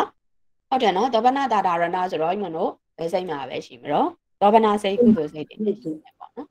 โอเคအဟီရိကနောတဘာဘယ်စေတသိက်အုပ်စုထဲမှာပါတာတော့ အကုတု ဟုတ်တယ်အခုဆိုစေတသိက်14ပါးတွေကမောစတုစေတသိက်4ပါးထဲမှာပါတာမဟုတ်ဘူးလားဟုတ်တယ်နော်မောဟအဟိရိကအနတ္တပဩဒိစာလေနော် ဒါဆိုရင်ဟုတ်ကဲ့အဟိရိကအနတ္တပဆိုတော့အဲ့ဒီစိတ်စေတသိက်နှစ်ခုကကြတော့အလုံးမောစတုဆိုတော့အလုံးစုံတော့အကုသိုလ်စိတ်12ပါးစလုံးနဲ့ရှင်တာမဟုတ်ဘူးလားဟုတ်တယ်နော်ဒါဆိုရင်သူဒီပါစေတသိက်ဘာဘာဘာတော့ဆိုရင်အကုသိုလ်ဟုတ်တယ်နော်အကုသိုလ်ဒါဆိုရင်အခုဒီဗုဒ္ဓရား၉ပါးမှာအကုသိုလ်တတ်တတ်ဖြစ်တဲ့ဗုဒ္ဓရားအာဟိရိကအနောတ္တပอืมအဟိရိကအနောတ္တပနော် အကုသိုလ်တတ်တတ်ဖြစ်တဲ့ဘိုးဟုတ်တယ်နော်အကုသိုလ်တတ်တတ်ဖြစ်သောဘိုးတရားလို့ပြောရင်ဘယ်သူပဲထွက်လာတော့ဘိုးတရား၉ပါးထဲမှာအဟိရိကနဲ့ ကာဘူနဲ့အနတ္တ အ ပ နောတ္တပဘိုးဒီနှစ်ခုပဲထွက်လာတာတွေ့တယ်နော်ဒရာမိတ်ဆွေများရလာရှင်နားလည်လား ရပါတယ် နားလည်မယ်နော်โอเคနားလည်မယ်နော်โอเคနောက်ဒီတရားထဲမှာဒီဘုရားကိုပါထဲမှာကုသိုလ်အကုသိုလ်ရောရောပြောနေတာကုအကုအနေနဲ့ဆိုလို့ရှိရင် ဘယ်သူတွေထွက်လာမလို့ဝိရိယထွက်လာမယ်နော်တမာတိထွက်လာအာဒီဟုတ်တယ်နော်ဧကကတာထွက်လာမယ်နော်တမာတိဘုရဲ့ဝိရိယဘုရဲ့ထွက်လာမယ်ကုသိုလ်တသက်ဖြစ်သောဘုဆိုရင်တတထာဘိုရဲ့တတိဘိုတရဲ့တိဘိုရဲ့သီရိအော်အော်တပဘိုရဲ့အတ္တပဘိုရဲ့ထွက်လာတာတွေ့လားဟုတ်ပြီနော်အဲ့တော့ဗိုလ်တရားကိုပေါ့ဦးမနော်ကလေ့ကျင့်တဲ့အခါမှာဒီလိုမျိုးလေးတစ်ခါတည်းလေ့ကျင့်မှတ်စုစာအုပ်မှာတဲ့ကွာတစ်ခါတည်းမှတ်ထား တတ္တာတရားကိုကောက်လိုက်ရင်ဘသူဘသူနဲ့ရှင်တော့ဒီစိတ်တွေဒီစိတ်တွေနဲ့ရှင်တယ်အဲဆိုရင်ကုသိုလ်အကုသိုလ်ဗျာကတအနေနဲ့ခွဲရင်ဘာတွေထွက်လာမလဲပေါ့နော်အဲ့တော့မေးတဲ့မေးခွန်းပုံစံတစ်ခုရှိလို့ပါဒီမှာသူကဘယ်လိုပုံစံမျိုးမေးသွားတတ်တာတော့မေးကြတော့ဆိုတဲ့အခါကျရင်အဲ့ဒီဟိုဒီဗိုလ်တရားမှာအကုသိုလ်တသက်ဖြစ်တဲ့ဘိုလ်မေးဘူးတာဖြစ်တဲ့အတွက်ကြောင့်နော်အဲ့ဒါကြောင့်ဒီဒီဟာလေးကိုမကြက်နဲ့ဆိုတဲ့ဟာကို ဟိုကြက်လိုက်ကြက်မှာဆိုလို့မကြက်ဖဲနဲ့ကိုယ့်ဘက်တာကိုဖြေလို့ရအောင်လို့နော်ဒါဆိုရင်စာမျက်နှာ15ကိုသွားကြည့်လိုက်နော်စာမျက်နှာ15မှာသူကရှက်ကြောက်ကင်းညာအကျန်းဖက်သမားတို့ဤစွမ်းအင်နှစ်မျိုးပေါ့နော်အဲ့ဒီလိုလဲမေးတယ်နောက်တစ်ခုဒီနားလေးမှာကိုယ့်ဘက်တာကိုမှတ်ထားပေးပါဒီနေရာလေးမှာဟုတ်ပြီနော်ဒါအာကုသိုလ်တက်တက်ဘိုးဆိုတာလေးကိုအာကုသိုလ်တက်တက်ဖြစ်တော့ဘိုးပေါ့နော်အာကုသိုလ်တက်တက်ဖြစ်တော့ဘိုးလို့ဒီလိုလေးမှတ်ထားပေး နော်အဲ့ဒါဆိုရင်ဒါဟာဘယ်သူကိုပြောချင်တာတော့ဆိုရင်အာဟိရိကဘိုးနဲ့အနုတ္တပဘိုးကိုပြောချင်တာဖြစ်တယ်နော်အာကုသိုလ်တက်တက်ဖြစ်တော့ဘိုးဒီအာဟိရိကဘိုးရဲ့အနုတ္တပဘိုးရဲ့လို့ဒီလိုမှတ်ထားပေးနော်โอเคဒါဆိုရင်ဒီဒီဘက်ကခေါင်းစဉ်လေးတွေကြည့်ရအောင်စာမေးပွဲနဲ့လုပ်ငန်းကိစ္စအများတွင်ဘိုးဆွဲလိုလီနဲ့ထားရမည်ဘိုးလို့ပြောတယ်နော်အဲ့ဒါမေကုန်းဟောင်းထဲတွေမှာပါဘူးတာဖြစ်တဲ့အတွက်ကြောင့်မလို့မက်စုထဲမှာခေါင်းစဉ်တစ်ခုအနေနဲ့ ထည့်ပေးထားတာပါတဲ့အဲ့တော့စာမေးပွဲမှာပဲဖြစ်ဖြစ်တဲ့လုပ်ငန်းအလုပ်ကိစ္စပေါ့နော်လုပ်ငန်းကိစ္စတွေမှာပဲဖြစ်ဖြစ်ဟုတ်ပြီနော်ဘိုးဆွဲလိုလရင်ဘိုးဆွဲလိုလရင်ဆိုတာထက်တန်းကြလိုလရင်ပေါ့နော်အဲ့လိုဆိုရင်ထားရမယ့်ဘိုးတရားတွေဟာဘာတွေလဲဆိုရင်တော့တတ္ထာရဲ့ဝရိယရဲ့တတိရဲ့တမာတိရဲ့ပညာရဲ့ပေါ့နော်ဆိုပြီးတော့ဒီ၅ခုပြောထားတာဖြစ်ပါတယ်တတ္တာဝရိယတတိတမာတိပညာပေါ့နော် ယုံကြည်မှုခိုင်မြဲရမယ်လုံလစူးစမ်းအထောက်မှုလုံလဝရိယအဖြစ်လည်းခိုင်မြဲရမယ်ဒီမမိတ်မလျော့တဲ့တတိတရားလည်းရှိရမယ်ဒီပြုလုပ်တဲ့ပေါ့နော်အဲလုပ်ငန်းကိစ္စအပေါ်မှာတည်ကြည်ခိုင်မြဲတဲ့စူးစိုက်တဲ့အာယုံစူးစိုက်တဲ့တမာတိလည်းပဲရှိရမယ်ပညာနဲ့လည်းရှင်းရမယ်ပေါ့နော်အဲ့တော့တတ္တဝရိယတတိတမာတိပညာဆိုရဲဒီ၅ခုဟာလုပ်ငန်းကိစ္စတွေမှာဘိုးဆွဲထားဘိုးဆွဲလိုလျင်ဘိုးဆွဲချင့်လျင် ထားရမယ့်ဘိုးတရား၅ပါးပဲဖြစ်ပါတယ်တဲ့ဒီ၅ပါးဒီဒါဒီမနိုဟိုဘက် body ပဲခိရတင်ခါကြရင်ဘိုးတင်ဘိုးဘိုးတရား၅ပါးဘိုး entry ၅ပါးအနေနဲ့ပြန်ပြန်ပြီးတော့တွေ့ရမယ့်ဟာတွေပေါ့နော်အဲ့တော့ထပ်တာဝရိယတတိတမာတိပညာနော်နောက်တစ်ခုကတော့တခိုးဓမြတို့၌ဖြစ်တော်ဘို့လို့ပြောတယ်ဟုတ်ပြီနော်ဒါလည်းမိကုံဟောင်းထဲမှာပါဘူးတာဖြစ်တဲ့အတွက်ကြောင့်မလို့ထည့်ထားတာတခိုးဓမြတွေမှာဖြစ်တဲ့ဘို့ဆိုတော့ အဲ့ဒီဘိုးတရားကိုပါတွေကတခိုးဓမြတွေမှာဖြစ်တဲ့ဘိုးဆိုတော့ဘာတွေကိုဆွဲထုတ်ပြသွားတော့ဆိုရင်ကုသိုလ်ဟာတွေကိုဟိုကုသိုလ်တွေကိုဖယ်ခဲလိုက်တာပေါ့နော်ဘိုးတရားကိုပါတွေကကုသိုလ်တွေကိုဖယ်ခဲလိုက်တော့ဘာတွေဖယ်ခဲလိုက်တော့တော့တထာရဲ့တတ္တာရဲ့တတတိယတရိရဲ့ပညာပညာရဲ့ဟိရိရဲ့အော်တပတပ္ပဒီငါးခုကိုဘာလို့လိုက်တော့ဆိုရင်ဖယ်ခဲလိုက်တော့ကျန်နာပါလေကျန်နော် ဝရိယရဲ့ ရိယ သမာဓိ မာ ရဲ့ တိရဲ့ ဟိရိကရဲ့ နော နော တ တ ပ္ ပ ပ ရဲ့ဟုတ်တယ်နော်ရောင်းမေးစင်များโอเคကုသိုလ်တရားတွေရဲ့ဟိုကုသိုလ်တရားတွေမှာရှင်တဲ့ဘူတရား၅ခုစလုံးမလုပ်ခဲ့လိုက်တော့ဆိုရင်ချန်ထားခဲ့လိုက်တယ်ဝရိယတို့တမာတိတို့ဆိုတာကုသိုလ်မှာလည်းရှင်တယ်အကုသိုလ်မှာလည်းရှင်တယ်မဟုတ်ဘူးလားအဲ့တော့တခုတမျှဆိုတော့အာဒါ အာမကောင်းမှုအကုသိုလ်ဒုစရိုက်ကိုပြုလုပ်ကြမဲ့သူတွေပဲပေါ့နော်ပြုလုပ်ကြမဲ့သူတွေတဲ့ဝရိယဘို့တမာတိဘို့အပြင်ကမှမကောင်းမှုဒုစရိုက်ပြုလုပ်ရမှာအောင်မရှက်ချင်းမကြောက်ချင်းလို့ဆိုရဲအာဟိရိကအနုတ္တပဘို့တွေပါထပ်ပြီးတော့ပေါင်းထည့်လိုက်တာပေါ့ဟုတ်တယ်လေတခုတမျှလုပ်ဖို့ရအတွက်လဲဝရိယဘို့တို့တမာတိဘို့တို့ထိုက်ရမှာပဲမဟုတ်ဘူးလားဟုတ်တယ်နော်အဲတခုဆိုလို့ရှိလို့ရှိရင်လူအိတ်ချိန်မှာအဲဒီအိမ်ကတအိမ်လုံးအကုန်လုံးအိမ်မှာဝင်ခုံးမဲ့ဟေးဆိုရင်အဲ့ဒီတအိမ်လုံးအိမ်အောင်လို့ပါလို့ရတော့ဟုတ်ပြီနော် ပါလို့ရတော့ဝရိယထားပြီးတော့စောင့်ကြည့်ရတယ်မဟုတ်ဘူးလားအိတ်ဒီလားအိတ်ဒီလားနဲ့ဒီပေါ်မှာပဲအာယုစူးစိုက်နေရတာလीနော်ထင်တာပဲလေမကောင်းမှုဒုစရိုက်ပြုလုပ်ဖို့ရအတွက်ဆိုအဲ့တော့ဒီတကုတ်တမျှတွေမှာဖြစ်တဲ့အာဘိုဟာလေဒါအာကုသိုလ်တွေနဲ့ရှင်တဲ့ဝိရိယဘိုတမာတိဘိုအာဟိရိကဘိုအနုတ္တပဘိုဆိုပြီးတော့ဒီလိုပြောသွားတာဖြစ်ပါတယ်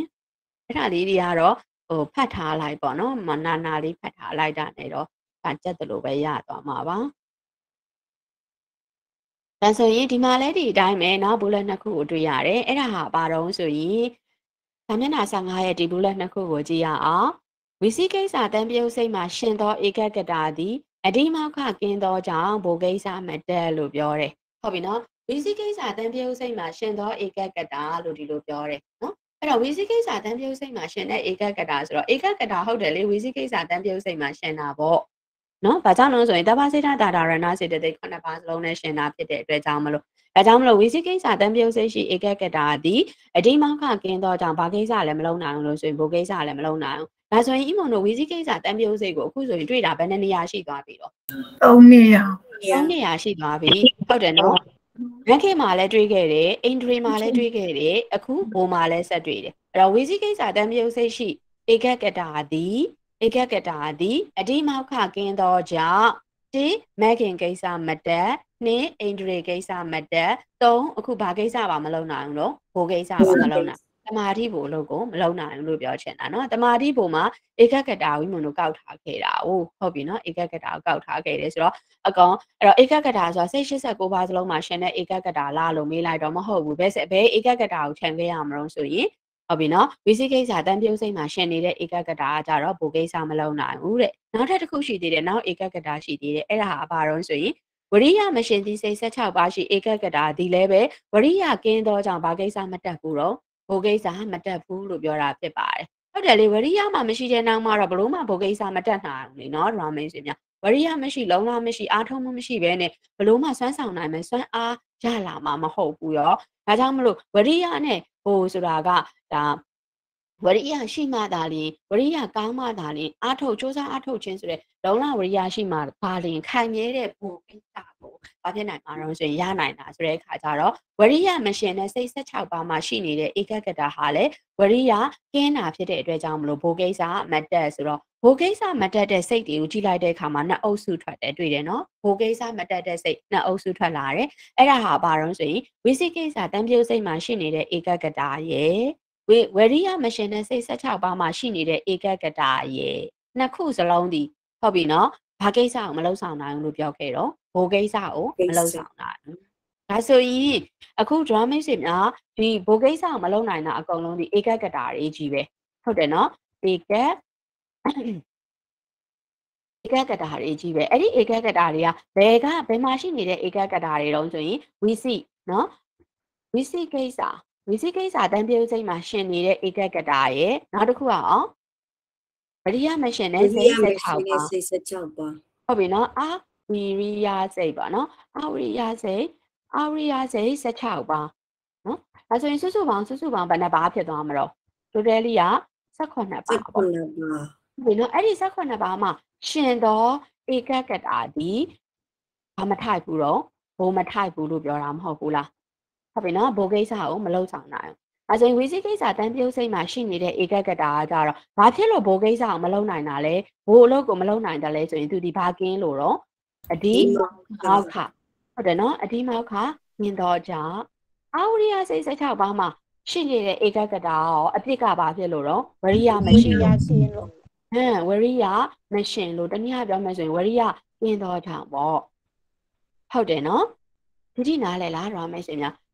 နားလဲမယ်နော်ဒါဆိုရင်ဧကကတာဘိုးထိုက်တဲ့ဧကကတာလို့ပြောရင်89တွေကပြည့်ရ16ပဲဆိုတော့ဒီ18ပါးကိုနှုတ်ချလိုက်တော့89အနှုတ်19ဆိုတော့ဘယ်နှပါပဲကျန်တော့မလို့22ပါ80နဲ့နှစ်ပါ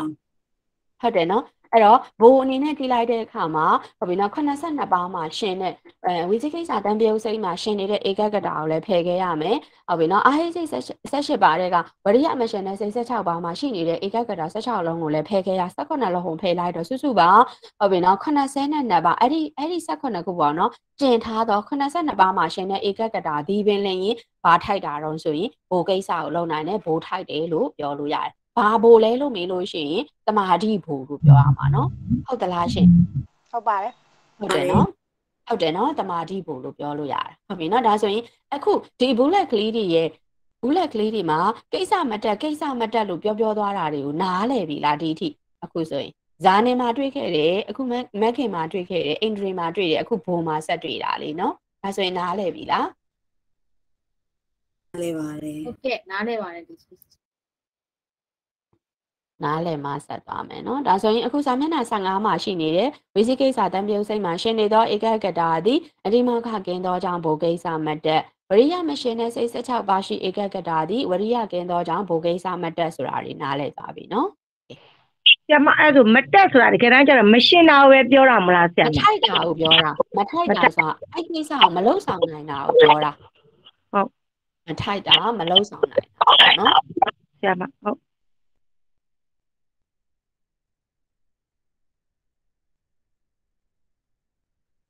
ရမယ်နော်โอเคဒါဆိုရင်ဒီ15မှာ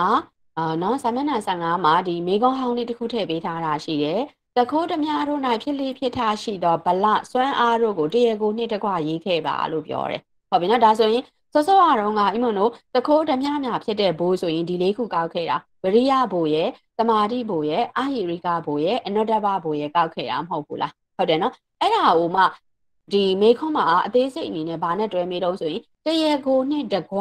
ရေးခဲ့ပါဒီလိုပြောတာတရကိုနဲ့တကွဆိုတော့မဟုတ်လို့တရကိုကောက်ရတော့မယ်ပုံမှန်အားဖြင့်ဆိုရင်ဝရိယဘိုလ်လို့ပြောလိုက်ရင်တရကိုပါပဲကောက်မှာတော့ဝရိယပဲကောက်မှာမဟုတ်ဘူးလားဟုတ်တယ်နော်ဝရိယစေတသိက်ကိုကောက်မယ်တမာတိဘိုလ်လို့ပြောလို့ရှိရင်တရကိုပါကိုကောက်မှာတော့ဧကကတာကိုကောက်မှာဟုတ်တယ်နော်ဧကကတာနော်အဟိရိကဘိုလ်လို့ပြောရင်တရကိုကဘာကိုကောက်မှာတော့အာဟိရိကအဟိရိကနော် ဆိုတော့တကုတ်ဓမြတွေမှာဖြစ်တဲ့ဘိုလ်လို့ပြောတဲ့အခါမှာဒီမနိုအဲကောက်ခဲ့တဲ့ဘိုရိယဘာတွေတုံးဆိုတဲ့အခါဒါလို့ရှိရင်ဝီရိယနော်ဝီရိယဝရိယဘိုလ်ဝရိယဘိုလ်တရကိုအနေနဲ့ဆိုရင်ဝီရိယစေတသိက်ကလေးရတာမဟုတ်ဘူးလားနော်နောက်တစ်ခုကအဲဘာဘိုလ်တော့မာဝတိရိယဘိုလ်ပြီးတော့ဧကကတာတမာတိဘိုလ်နော်တတိဘိုလ်တမာတိဘိုလ်အဲ့တော့တမာတိဘိုလ်တမာတိဘိုလ်လို့ပြောလိုက်ပြီဆိုရင်တရကိုအနေနဲ့ဘာကိုကောက်တာတော့ဧကကကကတာတာ နော်ဧကကတာနောက်ပြီးတော့ဘာကိုပေါက်ဘာကိုကောက်တော့အာအာဟိဟီရိကရိကဟိုနော်တရားကိုအနေနဲ့ဘာကိုကောက်တော့အာဟီရိကစေတသိက်ကလေးကိုကောက်တယ်နော်ဒီနောက်တစ်ခုကဘယ်သူ့ကိုကောက်တော့အနောတပတပ်ပနော်အနောတပဘို့အဲ့တော့အနောတပဘို့လို့ပြောတဲ့အခါမှာလဲတရားကိုအနေနဲ့ဘာလေးကိုကောက်တော့ဆိုရင်အနောတပစေတသိက်ကလေးကိုကောက်ခဲ့တာမဟုတ်ဘူးလားဟုတ်တယ်နော်ဒါကအကျဉ်းအားဖြင့်မဆုစာအုပ်ထဲမှာပါတယ်တရားကိုတွေကိုကောက်ပြခဲ့တာ ဝရိယဘို့ဝရိယစေတသိက်ပဲကောက်တယ်ဧကကတာစေတသိက်ကောက်တယ်အာဟိရိကအာဟိရိကစေတသိက်ကောက်တယ်နောတပစေတသိက်ကောက်တယ်အခုဒီမှာမိကောမှာပု္ပ္ပစာတစ်ပုဒ်အနေနဲ့မေးလာခဲ့တယ်နော်မိကောမှာတရားကိုနှစ်တစ်ခွရေးခဲ့ပါဆိုပု္ပ္ပစာတစ်ပုဒ်အနေနဲ့ရေးလာခဲ့တော့အတိအကျကောက်တော့မယ်အတိအကျကောက်တဲ့အခါကျတော့ခေါင်းစဉ်ဟာတခိုးဓမြတို့၌ဖြစ်လေရှိသောလို့ဒီလိုတင်ထားတာနော် scenario ကိုကြည့်လိုက်ရင်တခိုးဓမြတို့၌ဖြစ်လေရှိသောဆိုတော့မကောင်းမှုဒုစရိုက်မှာပြုတ်လောက်တာမဟုတ်ဘူးလားတခိုးဓမြဆိုတော့ဒါမကောင်းမှု ဟုတ်ပြီနော်မကောင်းမှုဘာကိုပြုလုပ်မှာတော့ဆိုရင်ဒါဒုစရိုက်ကိုဘာလုပ်တော့မှာတော့ဆိုရင်ပြုလုပ်အားထုတ်ကြမဲ့သူတွေမှာဖြစ်တဲ့ဘိုးဆိုတော့ဒီလေးခုအကျဉ်းအားဖြင့်ထွက်လာတယ်အဲ့တော့ဝိရိယစေတသိက်ဆိုလဲဝိရိယကိုအသေးချာကောက်တော့မှာအဲ့တော့ဝိရိယကိုအသေးချာကောက်တော့မကောင်းမှုဒုစရိုက်ဆိုတော့ဘာနဲ့ပြုလုပ်ကြမှာတော့ဆိုရင်အာကုသို့အာကုသို့စိတ်ဘယ်နှပါးနဲ့ပြုလုပ်မှာတော့ဘယ်နှပါးနဲ့ပါလုပ်ကြမှာတော့ဆိုရင်ပြုလုပ်ကြမှာမဟုတ်ဘူးလားဟုတ်တယ်နော်မကောင်းမှုဒုစရိုက်တို့ဒီအာကုသို့စိတ်12ပါးနဲ့အတူတူဒုစရိုက်10ပါးကိုပြုလုပ်အားထုတ်လိုက်တဲ့အခါမှာကံနေမြောက်သွားတယ်လို့ဒီလိုသိခဲ့တာလीနော် ဆိုတဲ့အခါကျတော့အဟုတ်ပြီဒါဆိုရင်ဝရိယဘို့ဝရိယစေတသိက်လို့ကောက်ယူလိုက်တဲ့အခါကျတော့အဲ့ဒီဝရိယစေတသိက်ကလေးဒီဘယ်စိတ်နဲ့ရှင်တာတော့အာကုသိုလ်စိတ်12ပါးစလုံးနဲ့ရှင်တယ်မဟုတ်ဘူးလားဟုတ်ပါတယ်ဟုတ်ပြီနော်ဒါကြောင့်မလို့အာကုသိုလ်ဟုတ်ပြီနော်အာကုသိုလ်စိတ်12ပါးမှာရှင်တော်လို့ဒီလိုကောက်ပြောတာဖြစ်ပါတယ်နော်ရှင်တော်ဝရိယစေတသိက်ဒီမကောင်းမှုဒုစရိုက်ပြုလုပ်ကြတဲ့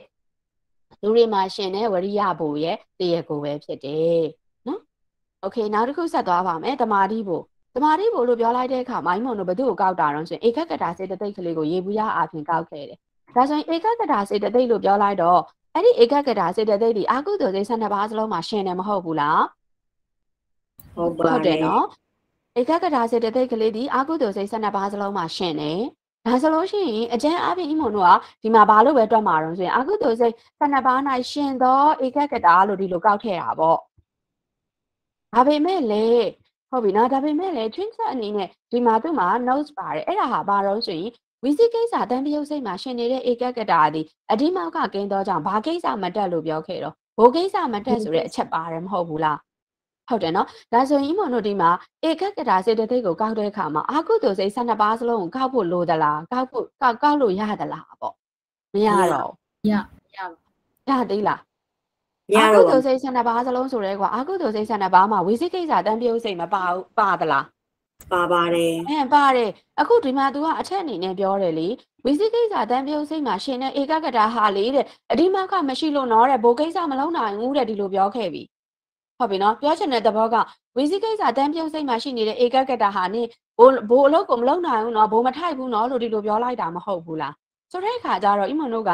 ဒီမှာတမာတိဘိုအနေနဲ့ဧကကတာစေတသိက်ကိုကကောက်တော့မကောင်းမှုဒုစရိုက်မှာပြုတ်လုပ်တဲ့သူတွေရဲ့တမာတိဘိုလို့ပြောတာအာကုသိုလ်စိတ်12ပါးမှာရှင်နေတဲ့ဧကကတာစေတသိက်ကိုကောက်လဲကောက်တော့ဒီနေရာမှာအာကုသိုလ်စိတ်12ပါးစလုံးလို့ယူလို့ရပါမလားပါမရမတော့ရမရတော့ကနာ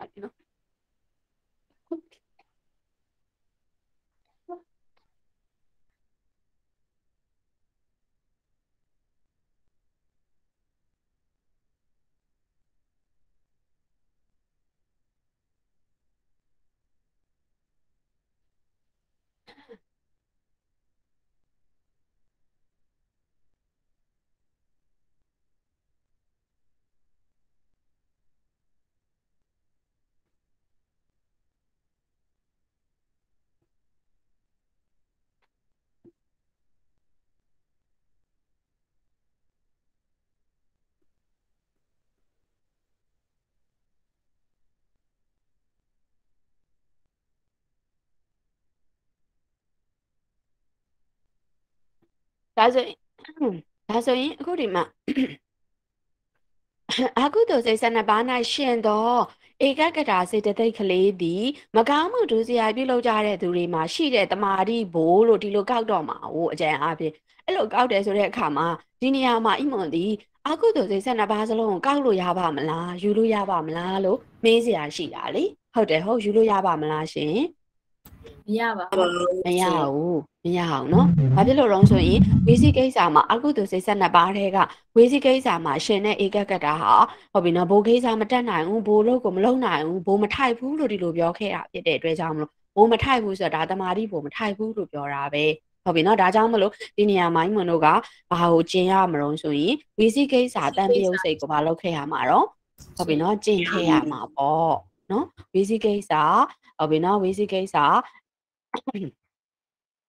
အပြုံးစိတ်ကျင်ထားတော့အကုသိုလ်စိတ်ဘယ်နှပါးပဲရတော့မလို့စက်တ17ပါပါးဟုတ်ပြီနော်အကုသိုလ်စိတ်17ပါးမှာရှင်တော့ဧကကတာသည်မကောင်းမှုဒုစရိုက်ပြုလုပ်ကြမဲ့သူတွေရဲ့သူတွေမှာရှိတဲ့တမာတိဘိုပဲလို့ဒီလိုပြောတာဖြစ်ပါတယ်။အဲဆိုနားလေလားဒရာမိတ်ဆွေများလည်းပါတယ်ဟုတ်ပြီနော်။ အဲဆိုရင်နောက်တစ်ခုအာဟိရိကဘိုနဲ့အနုတ္တပဘိုအာဟိရိကဘိုအနုတ္တပဘိုကတော့ရှင်းတယ်အာဟိရိကစေတသိက်ဒီမောစတုတ်စေတသိက်၄ပါးထဲမှာပါတာမဟုတ်ဘူးလားဟုတ်ပါဟုတ်တပါယ်တယ်ဟုတ်တယ်နော်မောဟအဟိရိကအနုတ္တပဆိုရဲဩဒိစ္စဆိုပြီးတော့မောစတုတ်စေတသိက်၄ပါးထဲမှာပါတယ်အဲ့ဒီမောစတုတ်စေတသိက်၄ပါးဆိုတာဒီအကုသိုလ်စိတ်12ပါးစလုံးနဲ့ရှင်းတာမဟုတ်ဘူးလားဟုတ်ပါတယ်ပါတယ်ဟုတ်ပါတယ် တပ်ပါကုတလတာထာရဏစေတသိက်နော်အလုံးစုံတော့အကုသိုလ်စေတသိက်တိုင်းနဲ့ရှင်သောစေတသိက်နော်အဲ့တိုင်းပဲအနောတပဆိုတာကလည်းအလုံးစုံသောအာကုသိုလ်စိတ်တွေနဲ့ရှင်တဲ့စေတသိက်မောစတုတ်စေတသိက်ဆိုတော့အာဟိရိကရောအနောတပရောအဲ့ဒီစေတသိက်နှစ်ခုစလုံးဒီအာကုသိုလ်စိတ်12ပါးစလုံးမှာရှင်တာဖြစ်တယ်ဟုတ်တယ်နော်အာကုသိုလ်အာကုသိုလ်စိတ်12ပါးစလုံးနဲ့ရှင်တော့အ ဟိရိကစေတသိက်ကလေးသည်မကောင်းမှုဒုစရိုက်ပြုလုပ်ကြမယ်သူတွေမှာရှင်တဲ့ရှိတဲ့အဟိရိကပို့ပဲ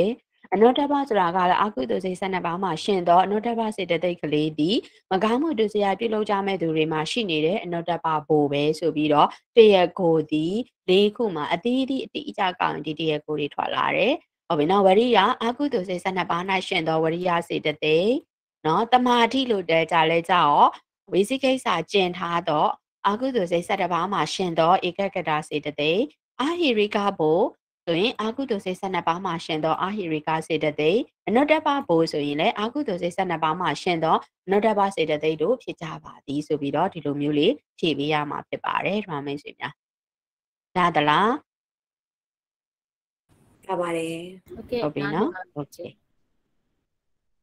ဒါဆိုရင်ဘုံနဲ့ပတ်သက်ပြီးတော့ဟာဒီလောက်သိထားရင်လောက်လောက်ပြီဘိုတရားကိုပါကိုတရားကိုရင်းနဲ့တွဲပြီးကြက်ထားမယ်ပြီးတော့ရင်ဒီအချက်ကလေးတွေကိုကြက်ထားရမယ်ပေါ့နော်ဒါလေးတွေတည်းဒီခေါင်းစဉ်လေးတွေကြက်ထားရင်ဘုံနဲ့ပတ်သက်ရင်ဖြေနိုင်လိမ့်မယ်ပေါ့နော်ဘုံမှာဒီလိုပဲမေးလေးရှိပါတယ်လို့နော်โอเคဒါမယ်နော်ဒါဆိုရင်ပို့ပြီးပြီဆိုတော့အခုနည်းနည်းဆက်သွားခြင်းနဲ့အဓိပတိဆိုတာလေးကိုဆက်သွားခြင်းနဲ့နော်အဓိပတိအဓိပတိတရား၄ပါး ကြံတိုင်းအောင်စောင်းတိုင်းမြောက်စီရဲ့အတွက်အကြည်အမှုဦးစီးခေါင်းဆောင်ဖြစ်သောတရားအဓိပတိဆိုတဲ့သဘောကအကြည်အမှုဦးစီးခေါင်းဆောင်လို့ပြောတာအကြည်အမှုဖြစ်သောတရားပေါ့နော်ဒါကြောင့်မလို့အဓိပတိတရားအကြည်အမှုဖြစ်သောတရားသည်၄ပါးရှိတယ်တဲ့နော်အဲ့ဒီအကြည်အမှုဦးစီးခေါင်းဆောင်ဖြစ်တဲ့တရားဟာဘာလဲလို့ပြောရင်မိမိနဲ့အတူဖြစ်ဖက်တရားတို့ကိုလွှမ်းမိုးအုပ်ချုပ်အရှင်သခင်လုပ်ပြီးလျင်တကွာဖြစ်ဖက်တရားအစုတို့ကိုထိုထိုကိစ္စ၌ မိမိအလိုကြအောင်လိုက်ပါစေနိုင်သောတရားလို့ပြောတယ်။အတူပြိုင်ဖက်မရှိသို့မို့ကြည်ကြည်ကဲသောတရားပြိုင်ဖက်မရှိဘူးပေါ့နော်ပြိုင်ဖက်မရှိဘူးတဲ့။နော်ဒါကြောင့်မလို့ထိုထိုကိစ္စ၌အကြီးဆုံးအချုပ်ဆုံးဖြစ်သူသည်တယောက်တည်းသာရှိတဲ့ကဲ့သို့အဓိပတိတရားလေးပါးတို့တွင်တဘာဘာသာအဓိပတိဖြစ်ရသည်ကြံသုံးပါးကနောက်လိုက်ငယ်သားဖြစ်ရသည်လို့ပြောတယ်။ဥပမာစန္ထအဓိပတိဖြစ်ခကြံစိတ်ဝရိယ ပညာတို့သည်နောက်လိုက်ငယ်သားတွေဖြစ်ကြရတယ်လို့ပြောတယ်အဲ့ဒီမှာသူကအဓိပတိနဲ့အိန္ဒြေနဲ့ဒီတူတလိုလိုနဲ့ကွဲပြားတယ်ပေါ့နော်ဘလို့ကွဲပြားတယ်လဲဆိုရင်တဲ့အိန္ဒြေဆိုတာကနော်အိန္ဒြေဆိုတာကသူ့ဆိုင်ရာကိစ္စရမှာပဲနော်မိမိဆိုင်ရာကိစ္စများ၌တာတဘာဒီလွှမ်းမိုးအစိုးရအုပ်ချုပ်ရခြင်းဖြစ်တယ်ဥပမာဗရေဥပမာဗရေတရမင်းငယ်နဲ့ movement ပေါ့နော် သူဆိုင်တဲ့ကိစ္စရဲ့သူဆိုင်တဲ့ department ကိုပဲသူကဘာလုပ်တာတော့ဆိုရင်လွှမ်းမိုးတာပေါ့နော်အဓိပတိကြတော့အဲ့လိုမျိုးမဟုတ်ဘူးတဘာသောတရားတို့၏အစိုးရသည့်အဖြစ်ကိုတားမြစ်၍မိမိတဘာတိတာအစိုးရခြင်းတဲ့ဥပမာအနေနဲ့ပြောတော့စက်ကြဝရီမီဘယင်လို့ပြောတယ်ပေါ့နော်ဟိုမဘာနဲ့တူတော့ဆိုရင်မလို့ကျောင်းတစ်ကျောင်းကိုကြည့်လိုက်တဲ့အခါမှာကျောင်းအုပ်ပေါ့ principal လို့ပြောလိုက်တဲ့အခါမှာ ကျောင်းအုပ်လို့ပြောလိုက်တဲ့အခါမှာတကြောင်လုံးကိုဘာလုပ်တာတော့ဆိုရင်အစိုးရတာမဟုတ်ဘူးလားတကြောင်လုံးရဲ့အတန်းတိုင်းပေါ်မှာဘာလုပ်တာတော့ဆိုရင်အစိုးရတာလေနော်ဟိုသူငယ်တန်းကနေဒီကျောင်းကသူငယ်တန်းကနေပြီးတော့10တန်းအထိရှိတယ်အဲ့ဒီသူငယ်တန်းကနေ10တန်းအထိကျောင်းတစ်ချောင်းလုံးရဲ့ကျောင်းအုပ်လို့ပြောတဲ့အခါမှာအဲ့ဒီကျောင်းအုပ်ကြီးဒီအဓိပတိဖြစ်တယ်။ဘာကြောင့်လဲဆိုရင်သူငယ်တန်းမှဒီ10တန်းအတန်းတိုင်းအတန်းတိုင်းအတန်းတိုင်းကိုသူဘာလုပ်လို့ရတော့ဆိုရင်လွှမ်းမိုးအုပ်ဆိုလို့ရတယ်။ အဲ့ဒီထဲထဲမှာမှာတဒန်းတဒန်းတဒန်းတဒန်းချင်းစီမှာသူ့အတန်းပိုင်းနဲ့သူရှိတယ်မဟုတ်ဘူးလားသူငယ်တန်းဆိုလို့ရှိရင်လည်းသူငယ်တန်းအတန်းပိုင်းရှိမယ်ပေါ့ပထမတန်းဆိုလည်းပထမအတန်းပိုင်းအဲပထမတန်းအတန်းပိုင်းရှိမယ်ဆိုလို့ရှိရင်အဲ့ဒါလိုမျိုးပေါ့နော်အဲ့လိုဆိုတဲ့အခါကျအောက်အောက်ဒီကျောင်းဝင်းထဲမှာရှိနေတဲ့သက်ဆိုင်ရာသက်ဆိုင်ရာအတန်းတစ်ခုချင်းစီကြတော့သူတို့ဆိုင်ရာဆိုင်ရာဘာတွေရှိကြတော့ဆိုရင်အတန်းပိုင်းဆရာမတွေဆရာတွေဆရာမတွေရှိကြတယ်ဒါဆို အဲ့ဒီအတန်းပိုင်းဆရာတွေဆရာမတွေဆိုတာဘာနဲ့တူတော့ဆိုရင်အိန္ဒြေနဲ့တူတာပေါ့မိမိနဲ့သက်ဆိုင်နဲ့မိမိနဲ့သက်ဆိုင်နဲ့အပိုင်းအကန့်လေးကိုပါပဲဘာလို့တာတော့ဆိုရင်လွှမ်းမိုးအစိုးရတာဟိုကတော့အားလုံးပေါ်မှာပါပြီးတော့လွှမ်းမိုးအစိုးရတယ်ဒါကြောင့်မို့အိန္ဒြေဆိုတာ breathing မင်းငယ် movement နဲ့တူပြီးတော့အဓိပတိဆိုတာကတော့ဘာနဲ့တူတော့ဆိုရင်ဆက်ကြောဝရိမင်းဘယင်နဲ့တူတယ်လို့ဒီလိုပြောသွားတာဖြစ်ပါတယ်เนาะ အဲ့ဒါဟာအဓိပတိနဲ့အင်ဒရီရဲ့အထူးဒါကြောင့်မလို့အဓိပတိအဓိပတိလို့ပြောတဲ့အခါမှာအတူပြိုင်ဘက်မရှိဘူးသူမူကြီးကဲလုံးတဲ့တရားဟာအဓိပတိပဲတဲ့ဒါဆိုရင်အဲ့ဒီအဓိပတိတရားဟာ၄ပါးရှိတယ်နော်ဒီ၄ပါးတဲ့အခါမှာတဘာဘာသာအဓိပတိဖြစ်ရတဘာကသာလျင်ဘာဖြစ်ရတော့ဆိုရင်အဓိပတိဖြစ်ရတယ်တဲ့ဘာကြောင့်လို့ဆိုရင်အဓိပတိရဲ့သဘောတရားကသူတယောက်တည်းပဲလွှမ်းမိုးပါလေဂျန်တဲ့သူတွေသူကလွှမ်းမိုးမခံလွှမ်းမိုးမခံဆိုတဲ့အခါကျတော့ အဓိပတိတရား၄ပါးရှိပေမဲ့လေတဘာကသာလျင်အဓိပတိဖြစ်ရမယ်ပေါ့။ဥပမာဒီ၄ပါးထဲမှာစန္ဒကအဓိပတိဖြစ်နေတဲ့ဟေးဆိုရင်စန္ဒစိတ်တဝရိယဝိမန်သလို့ဆိုပြီးတော့အဓိပတိတရား၄ပါးရှိတယ်ပေါ့။အဲ့ဒီအဓိပတိတရား၄ပါးရှိတဲ့နေ့မှာ အခုအခိုက်မှာစန္ဒကအဓိပတိတက်နေခဲ့တယ်အဓိပတိတရားဖြစ်တယ်ဆိုရင်တန်သုံးပါးကအဓိပတိရဲ့နောက်လိုက်ငယ်သားဖြစ်ရတယ်အဲအခိုက်တဲ့တစ်ခုမှာစိတ်ကအဓိပတိဖြစ်နေခဲ့တယ်ဆိုရင်စိတ်ကအဓိပတိဖြစ်နေခဲ့တယ်ဆိုရင်ကြံသုံးပါးကဘာဖြစ်ရတော့ဆိုရင်နောက်လိုက်ငယ်သားဖြစ်ရတော့လေးအဓိပတိတရား၄ပါးရှိပြီမဲ့အဲ့ဒီ၄ပါးစလုံးကတပြိုင်နက်ဟုတ်ပြီနော်တပြိုင်နက်တော့ဘာမလုပ်နိုင်အောင်ဆိုရင်ခေါင်းဆောင်မလုပ်နိုင်ဘူး တူဦးကပဲခေါင်းဆောင်လုပ်ရမယ်တူဦးကခေါင်းဆောင်လုပ်တဲ့အချိန်မှာတူဦးကဘာဖြစ်ရမလို့ဆိုရင်နောက်လိုက်ငယ်တာဖြစ်ရမယ်ပေါ့နော်အဲ့ဒီလိုမျိုးပြောတာဖြစ်ပါတယ်နော်အဲ့ဒါလေးကဒရမိတ်ဆွေများပထန်းအဘိဓမ္မာဒီပစ္စည်းပိုင်းပထန်းတင်တဲ့ခါကျရင်လည်းပြန်တွေ့ရလိမ့်မယ်နော်အဓိပတိတရား၄ပါးဒီအဓိပတိတရား၄ပါးဒီ body bacteria တင်ခါကျရင် sunday အဲ့ဒီဘက်တရား၄ပါးဆိုပြီးပြန်တွေ့ရမှာပဲနော်အဲ့လိုဆိုတဲ့ခါကျတော့အခုဒီမှာဒီတရားအဓိပတိတရား၄ပါး အဓိပတိတရား၄ပါးတရားကို၄ပါးပေါ့နော်စံထာအဓိပတိတရားကိုအနေနဲ့စံထစေတသိက်ကလေးရတာဖြစ်ပါတယ်စိတ်ဓာအဓိပတိတရားကိုအနေနဲ့စိတ်89စိတ်ကိုရတယ်ပေါ့နော်လောလောဆယ်ဒီမှာစိတ်ကိုပဲကောက်ပြမယ်တရားကိုအတိအကျမကောက်ပြသေးဘူးနော်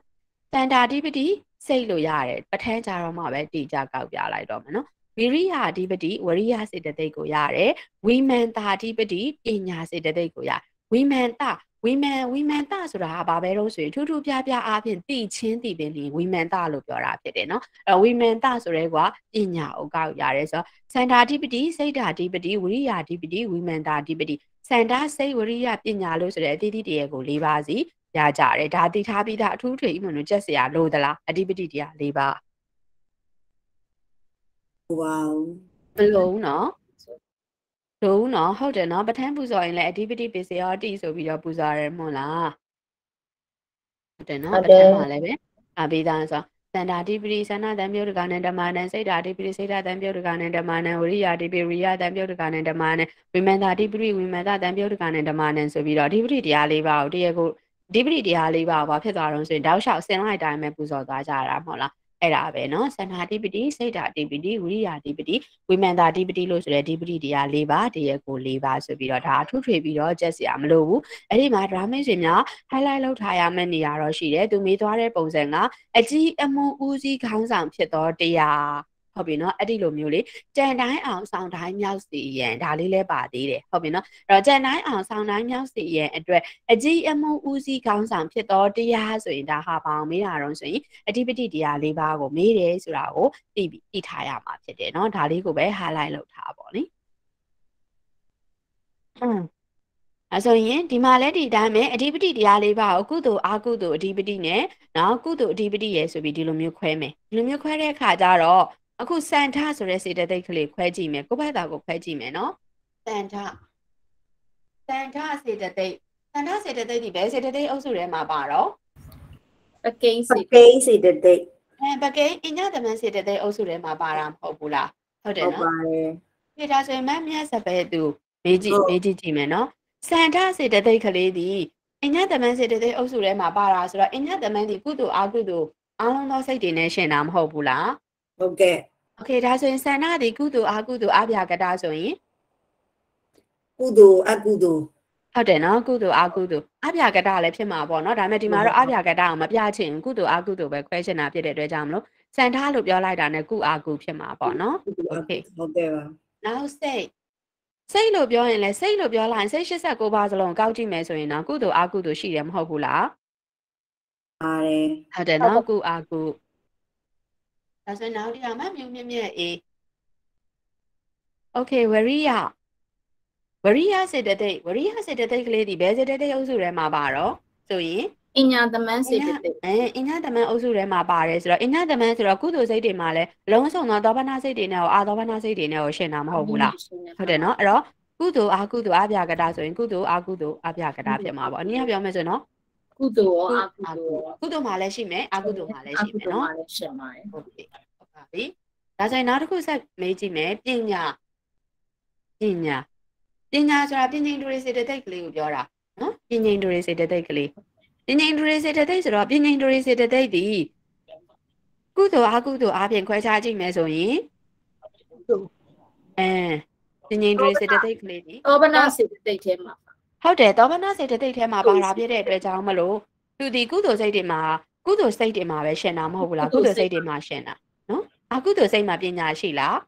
မရှိပါဘူးမရှိဘူးနော်ဒါဆိုရင်ဝိမန္တာတိပတိလို့ဆိုတဲ့ပညာဒီကုသိုလ်ပေါ့နော်အဲ့တော့ကုသိုလ်အကုသိုလ်အနေနဲ့ခွဲခြားကြည့်လိုက်တဲ့အခါမှာကုသိုလ်အကုသိုလ်ဖြစ်သောအဓိပတိလို့ပြောရင်ဘယ်သူတွေထွက်လာမလို့ and activity activity ဝိရိယ activity ဟုတ်တယ်ဝိရိယစန္ဒရယ်စိတ်ဓာတ်ရယ်ဝိရိယရယ်ထွက်လာမယ်ကုသိုလ်သက်သက်ဖြစ်သော activity ဆိုရင်ဘယ်သူထွက်လာမလို့ women သာ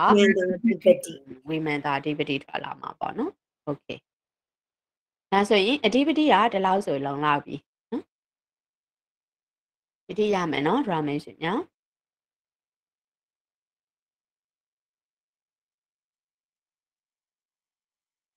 အဲဆိုရင်ဒီအာဟာရလေးတခါတည်းဆက်ဖြစ်မယ်နော်အချိန်ခိုးမှာနော်ပြောထားတယ်မဟုတ်လားအချိန်ခိုးမယ်လို့ကဲပါရလားနောက်10မိနစ်လောက်ထိရသေးလား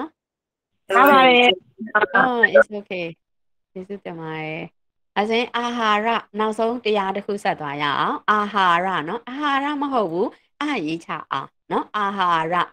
အာဟာရဆိုတဲ့အဓိပ္ပာယ်ပါဠိလိုနော်အဲ့ဒါအာဟာရဆိုတာမြန်မာရောဟာရမဟုတ်တော့ဘူးပါဠိမှာတဲ့ကောအာဟာရအာဟာရလို့သုံးတာဖြစ်ပါတယ်အာဟာရဆိုတာကသူဟာ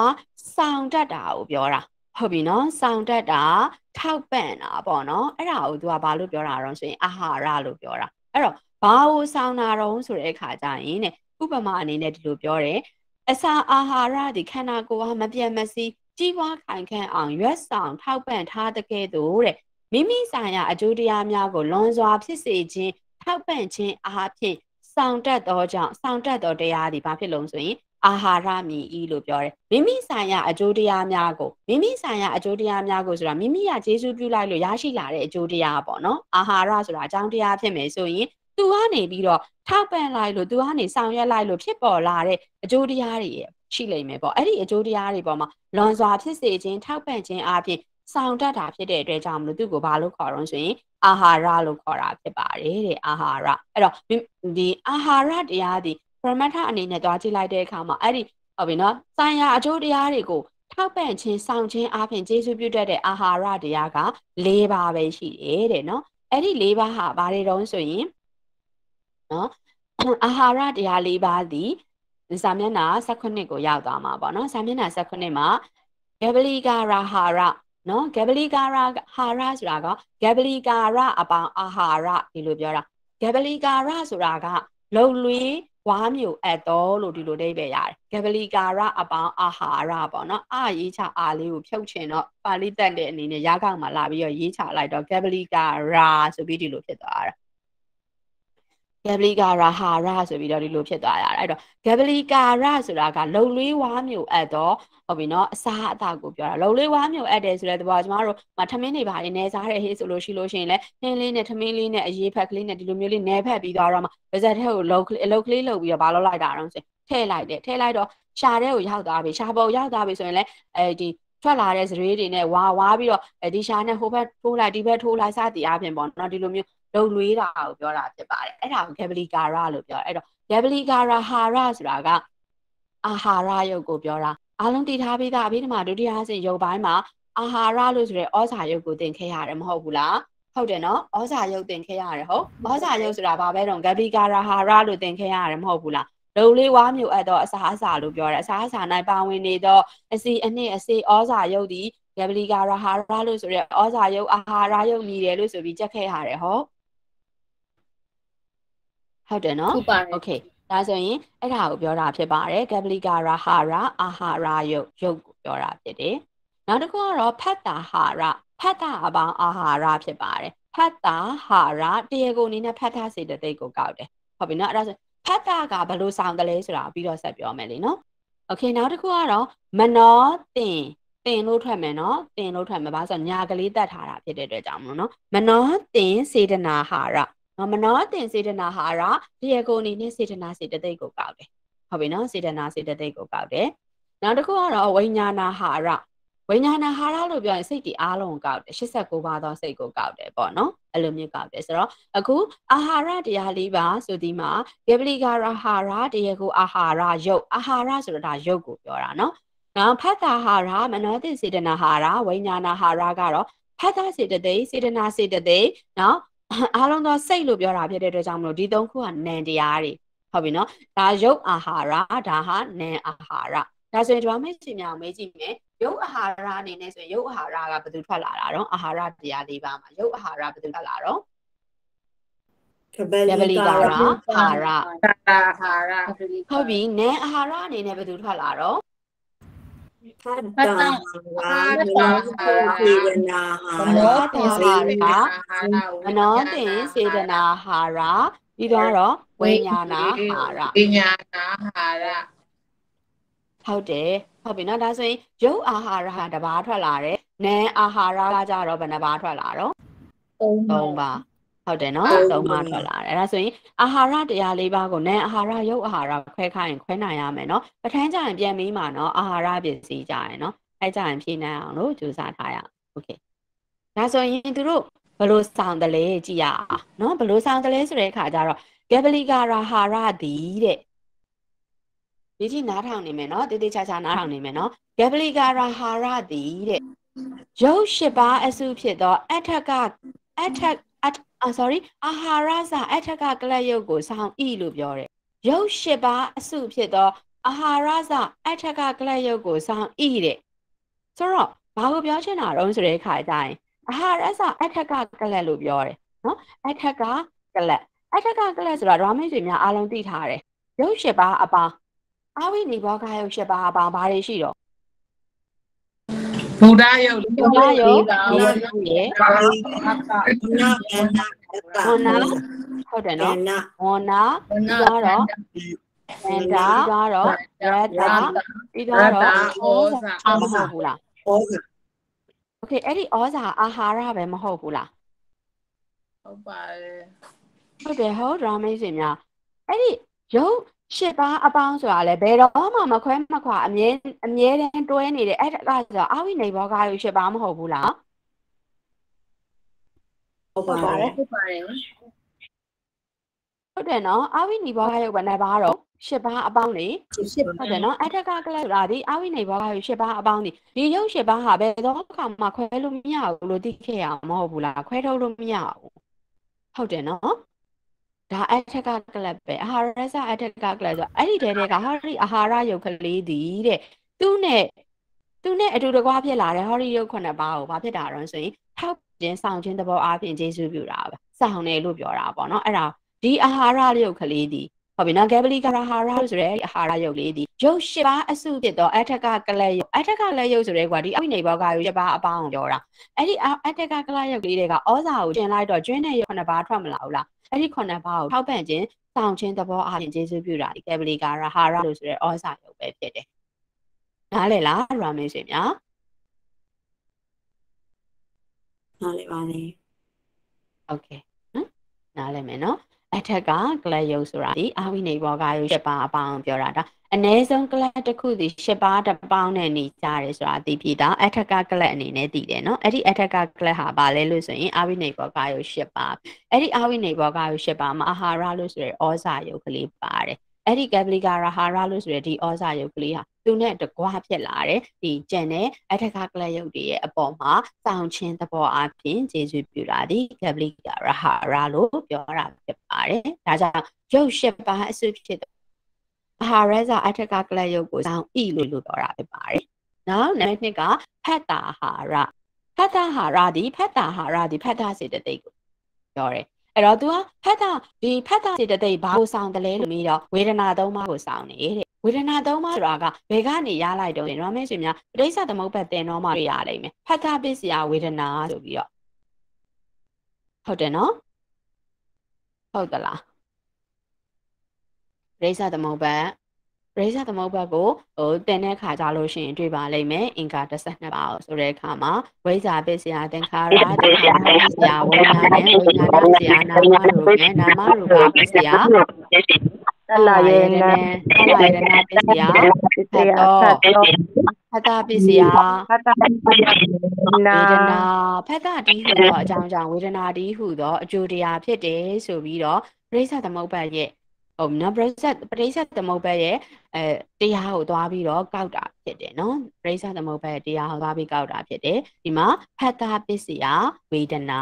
ဟုတ်ပြီနော်ဖက်တာပစ္စယဝေဒနာဖက်တာတီးဟူသောအကြောင်းကြောင့်ဝေဒနာတီးဟူသောအကျိုးဟုတ်ပြီနော်ပစ္စယဆိုတာအကြောင်းကိုပြောတာပဲတကယ်တော့နော်အကြောင်းကြောင့်မလို့ဝေဒနာတီးဟူသောအကျိုး အဲဆိုရင်အကျိုးတရားကိုကောက်လိုက်တဲ့အခါမှာဖတ်တာပစ္စယဝေဒနာဆိုတကယ်တော့ပြောရရင်တော့ဝေဒနာသုံးပါးကိုစောင့်နေပေါ့နော်အဲ့ဒါဘာတွေတုံးဆိုရင်ဒုက္ခရဲ့ဒုက္ခရဲ့ဥပိ္ပခရဲ့အဲ့ဒါကိုပြောချင်တာနော်ဝေဒနာသည်ဒရမိတ်ဆွေများ၅ပါးလို့ရှိမှသိခဲ့တာ၅ပါးလို့သိခဲ့တယ်ဆိုပေမဲ့ဒုက္ခလို့ပြောလိုက်တဲ့အခါမှာရုပ်ပုံမှန်အားဖြင့်အိမွန်တို့ကဒုက္ခလို့ပြောရင်ကိုချမ်းသာသောခံစားမှုလို့ပြောတာပေါ့သောမနတဆိုလို့ရှိရင်စိတ်ချမ်းသာသောခံစားမှုလို့ပြောတာပေါ့နော်ကိုရောစိတ်ကောချမ်းသာတယ်ဆိုရင်ဒါဒုက္ခပဲနော် ဒုက္ခလို့ပြောလိုက်တဲ့အခါမှာကိုယ်ဆင်းရဲတယ်လို့ဝေဒနာ၅ပါးအနေနဲ့ပြရင်ဒုက္ခဒီကိုယ်ဆင်းရဲသောခံစားမှုပဲနော်ဒါ dominant တာဆိုရင်စိတ်ဆင်းရဲတယ်လို့ပြောတာပေါ့နော်စိတ်မှာဖြစ်တဲ့ဝေဒနာလို့ပြောအဲ့နှစ်ခုကိုပေါင်းလိုက်လို့ရှိရင်ဒုက္ခလို့ပြောရင်ဒုက္ခဝေဒနာလို့ပြောလိုက်တဲ့အခါမှာကိုယ်ရောစိတ်ရောဆင်းရဲတာဒီဒုက္ခဝေဒနာထဲမှာပါတယ်နော်ဝေဒနာ၅ပါးထဲမှာဥပိ္ပခဝေဒနာဆိုတာကဟုတ်ပြီနော်ဒီ ဒုက္ခဝေဒနာသုံးပါးအနေနဲ့ဟောလိုက်ပြီးခေဆိုရင်အာဒုက္ခမဒုက္ခလို့ပြောတာပေါ့နော်သူကဥပိ္ပခနဲ့တူတူပဲဒုက္ခလည်းမဟုတ်အာဒုက္ခလည်းမဟုတ်တဲ့ခံစားမှုဝေဒနာပေါ့အဲ့တော့ဝေဖတ်တာပစ္စယဝေဒနာတူတူပဲရှင်းလိုက်တော့မယ်နော်ဖတ်တာပစ္စယဝေဒနာဆိုတဲ့သဘောကဟုတ်ပြီနော်ဖတ်တာတီးဟူသောအကြောင်းကြောင့်မလို့ဝေဒနာတီးဟူသောအကျိုးဖြစ်တယ်ဒါကြောင့်မို့ဖတ်တာဒီဘာကိုစောင်းနိုင်တော့ဆိုရင်ဝေဒနာကိုစောင်းတယ်လို့ဒီလိုပြောတာဖြစ်ပါတယ်ဟုတ်ပြီနော်ဒါကြောင့်ဖတ်တာဟာရ ဟုတ်ပြီနော်ဖတ်တာဟာရဘယ်သူကိုစောင်းတာတော့ဆိုရင်ဝေဒနာကိုစောင်းလို့ဖတ်တာပစ္စယဝေဒနာဒါကြောင့်မလို့ဖတ်တာတီးဟူသောအကြောင်းတရားကြောင့်အကြောင်းတရားဒီဝေဒနာသုံးပါးကိုစောင့်နိုင်နေဖြစ်စေနိုင်တယ်ပေါ့နော်ဒီလိုပြောတာဖြစ်ပါတယ်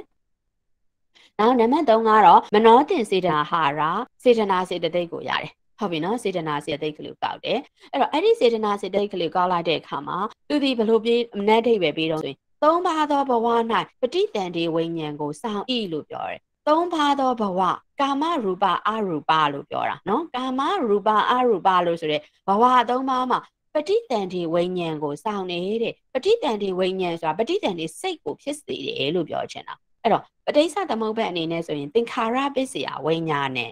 ဟုတ်ပြီနော်သင်္ခါရသင်္ခါရပစ္စယဝိညာဉ်နဲ့ဆို သင်္ခါရတီးဟူသောအကြောင်းကြောင့်ဝိညာဉ်နဲ့တီးဟူသောအကျိုးတရားရတယ်တော့သင်္ခါရဒီဘယ်သူကိုကောက်တာတော့ဆိုရင်စေတနာစေတသိက်ကိုကောက်ထားတာပဋိစ္စသမုပ္ပါကြရင်တော့ပြန်တွေ့ရမှာပေါ့နော်စေတနာစေတသိက်ကိုကောက်တယ်အဲ့ဒီစေတနာစေတသိက်ဒီဘာစေတနာစေတသိက်တွေတုံးဆိုအကျဉ်းအဖြစ်စေတနာ၃ပါးကောက်တာပေါ့နော်အဲ့တော့ပုံညာပြီးသင်္ခါရရဲ့အပုံညာပြီးသင်္ခါရရဲ့အာနိစာပြီးသင်္ခါရရဲ့ဆိုပြီးအဲ့ဒီလိုမျိုးသင်္ခါရ၃မျိုးကောက်တယ်အဲ့ တော့ပုံညာပြီးသင်္ခါရဆိုတာကတော့အအပုံညာပြီးသင်္ခါရဆိုတော့အာကုတုစိတ်တွေမှာရှင်တဲ့စေတနာကိုကောက်တာပေါ့နော်ပုံညာပြီးသင်္ခါရဆိုတာကကာမကုတုနဲ့ယူဘကုတုတွေမှာရှင်တဲ့စေတနာကိုကောက်တယ်အာနိစာပြီးသင်္ခါရဆိုတာကကြတော့မနော်ဒီအဲဟိုဇန်အရူပါဝဲစရာစိတ်တွေနဲ့ရှင်တဲ့စေတနာကိုကောက်တာပေါ့ဒါဆိုရင် စေတနာဆိုတဲ့အခါကျတော့ဒီစေတနာဒီဘာလို့သိရမှာတော့ဆိုရင်ကံလို့သိရတာလေနော်စေတနာစေတနာဒီကံလို့ပြောတာဖြစ်တဲ့အတွက်ကြောင့်မလို့ဒီစေတနာကံတီးဟူသောသင်္ခါရစေတနာကံကြောင့်မလို့ ဟိုဘက်မှာဘာကိုဖြစ်စေတာတော့ဆိုရင်ဘဝတစ်ခုကိုဖြစ်စေတယ်ဘဝတစ်ခုကိုဖြစ်စေတယ်ဆိုတော့အဲ့ဒီဘဝတစ်ခုကိုစတာဒီကနေစတာတော့ဆိုရင်ပဋိသင်္နေစိတ်ကနေစတာပဋိသင်္နေဝိညာဉ်ကနေဝိညာဉ်ဆိုတာစိတ်ကိုပြောတာနော်ဒါကြောင့်မို့သင်္ခါရတီးဟူသောစေတနာကြောင့်ဟိုဘက်မှာဘာကိုဖြစ်စေတာတော့ဆိုရင်အဲ့ဒီစေတနာကံတီးဟူသောအကြောင်းကြောင့်မလို့ဝိညာဉ်နယ်လို့ဆိုရဲဘဝတစ်ခုကိုဖြစ်စေခြင်းလို့ဆိုရဲပဋိသင်္နေဝိညာဉ်ကိုဖြစ်စေတယ်ဒါကြောင့်မလို့သင်္ခါရဖြစ်စေရဝိညာဉ်နယ်ဒီလိုပြောတာဖြစ်ပါတယ်နော်ပရိစ္ဆသမုပ္ပါမှာလည်းပဲသင်ရမယ် အဲသင်္ခါရပစ္စယဝိညာဉ်နဲ့အရာကြီးမလို့မှာပဋိတန်နေဝိညာဉ်ရှိတယ်ပဝတ္တိဝိညာဉ်ရှိတယ်နော်အဲ့ဒီမှာသင်္ခါရပစ္စယဝိညာဉ်နဲ့အရာမှာပဋိတန်နေဝိညာဉ်ဆိုရင်ဘာတွေကောက်တုံးဆိုရင်ပဋိတန်နေစိတ်16ပါးကိုကောက်ရတယ်ပေါ့နော်အဲ့ဒါလေးအကြမ်းပရိစ္ဆသမုပ္ပါကြတော့ဆက်တွေ့ကြတာပေါ့အဲ့တော့အခုဒီမှာဘာကိုပြောရတာပြောချင်တာတော့ဆိုရင်သင်္ခါရပစ္စယဝိညာဉ်နဲ့အရာမှာသင်္ခါရဒီ စေတနာစေတသိက်ကိုရတယ်အဲ့ဒီသင်္ခါရကြောင့်မလို့ဟိုဘက်မှာပဋိတန်နေဝိညာဉ်ကိုဖြစ်စေတယ်ဒါကိုပဲမနောတင်စေတနာဟာရလို့ပြောတာဖြစ်ပါတယ်နောက်နံပါတ်၄ကတော့ဝိညာဏဟာရဝိညာဏဟာရကတော့ရှင်းတယ်အားလုံးသောစိတ်လို့ပြောတယ်စိတ်လို့ပြောတယ်ဆိုတော့ကွာမိမိနဲ့အတူတကွဖြစ်သောစေတသိက်နော်နံတရားတွေနဲ့ရုပ်တရားတွေကိုမလုပ်တော့ဆိုရင်စောင့်နေတဲ့ နော်မိအဲ့တော့ဝိညာဏဆိုတော့စိတ်ကိုပြောတာပဲစိတ်ဆိုလို့ရှိရင်သူနဲ့အတူတကွာဖြစ်မှာဘာတွေတော့စေတသိက်ပဲမဟုတ်ဘူးလားစိတ်နဲ့အတူတကွာဖြစ်တာဒီဘယ်သူဖြစ်တာတော့စေတသိက်ဖြစ်တာလေဟုတ်တယ်နော်ဒါကြောင့်မလို့မိမိနဲ့အတူတကွာဖြစ်တဲ့စေတသိက်ကိုကောင်းပါနော်စေတသိက်ကိုပဲ only စေတသိက်ကိုပဲကောင်းမယ်ဒါဟာနံတရားအဲ့တော့အဲ့ဓာတွေအပြင်ကိုမှနံတရားပဲဖြစ်တာမဟုတ်ဘူးဒီစိတ်ကြောင့်ဖြစ်လာတဲ့ယုတ်တရားတွေရှိလာလိမ့်မယ်ဒီစိတ်ကြောင့်ဒီစိတ်ကြောင့်မလို့ဖြစ်လာတဲ့ယုတ်တရားတနည်းအားဖြင့်အတိအကျကောင်းရင် ဒါစိတ်တစားယုတ်ပဋိတန်နေကမ္မစားယုတ်ဆိုတာရှိတယ်နော်အဲ့ဒီယုတ်တရားတွေကိုနာမအရာသည်စေတသိက်ကိုကောင်းမယ်ရူပန်အရာသည်ဒါစေတစားယုတ်တွေပဋိတန်နေကမ္မစားယုတ်တွေကိုကောက်ယူပြီးတော့ဝိညာဏလို့ဆိုရဲဝိညာဉ်လို့ဆိုရဲစိတ်ကြောင့်မလို့ဒီစိတ်ကြောင့်မလို့ပစ္စယဆိုတာစိတ်ကိုပြောတာအဲ့တော့ဝိညာဏပစ္စယနာမရူပံ ဝိညာဏဆိုတဲ့စိတ်ချမှုလို့ဟုတ်ပြီနော်နာမရူပံလို့ဆိုတဲ့ဒီစိတ်စေတသိက်တွေနဲ့ဒီစိတ်တွေနဲ့အတူတကွဖြစ်လာတဲ့စေတသိက်တွေနဲ့ရုပ်တရားတွေကိုဖြစ်စေတယ်ဒီလိုပြောတာဖြစ်တယ်ဒါကြောင့်မလို့ဝိညာဏပစ္စယနာမရူပံအဝိညာဏဟာရလို့ဆိုတဲ့ဝိညာဏသည်ဘာကိုဖြစ်စေတာတော့ဆိုရင်နာမရူပံမိမိနှင့်ရှင်ဖက်အတူတကွဖြစ်လာတဲ့စေတသိက်တို့အား၎င်းရုပ်တရားတို့အား၎င်းဖြစ်စေခြင်းအပြင်စောင့်နေဒါကြောင့်မလို့သူဒီ အာဟာရမြည်တယ်လို့ပြောတာဖြစ်ပါတယ်ဟုတ်ပြီနော်ဒါဆိုရင်အာဟာရတရား၄ပါးမှာဂေဗလိကာရဟာရသည်ဟုတ်ပြီနော်အထက်ကအာဟာရစအထက်ကကလပ်ရုပ်ကိုစောင့်နေဖတ်တာဟာရသည်ဝေဒနာသုံးပါးကိုစောင့်နေမနောတင်စေတနာသည်ဝိညာဏံလို့ဆိုတဲ့ပဋိတန်တွေဝိညာဉ်ကိုစောင့်နေဝိညာဏဟာရသည်တကွဖြစ်ဖက်ဟုတ်ပြီနော်စေတသိက်လို့ဆိုတဲ့နံတရားတို့ကို၎င်းယုတ်တရားတို့ကို၎င်းစောင့်ခြင်းအားဖြင့် ဟုတ်ပြီနော်ထောက်ပံ့ခြင်းအားဖြင့်ဆောင်ရွက်တာဖြစ်တဲ့အတွက်ကြောင့်မလို့အာဟာရမြည်တယ်လို့ဒီလိုပြောတာဖြစ်ပါတယ်ဒီစောင်ပုံဆိုတာလေးကတော့ raw မိတ်ဆွေများကြက်ထားရမှာပေါ့နော်အာဟာရတရားလေးပါးဒီဘယ်လိုမျိုးဆောင်ရွက်တယ်လဲဘယ်လိုဆောင်တယ်လဲလို့မေးလာခဲ့သည်ရှိတော့ဖြေနိုင်အောင်ဖြစ်ပါတယ်ဒါလေးကမေကွန်ဟောင်းထဲမှာလည်းမေးဖူးတယ်အီမွန်တို့မေကွန်ဟောင်းလေးတွေ့တဲ့အခါကျတော့တွေ့ပါလိမ့်မယ်နော် raw မိတ်ဆွေများ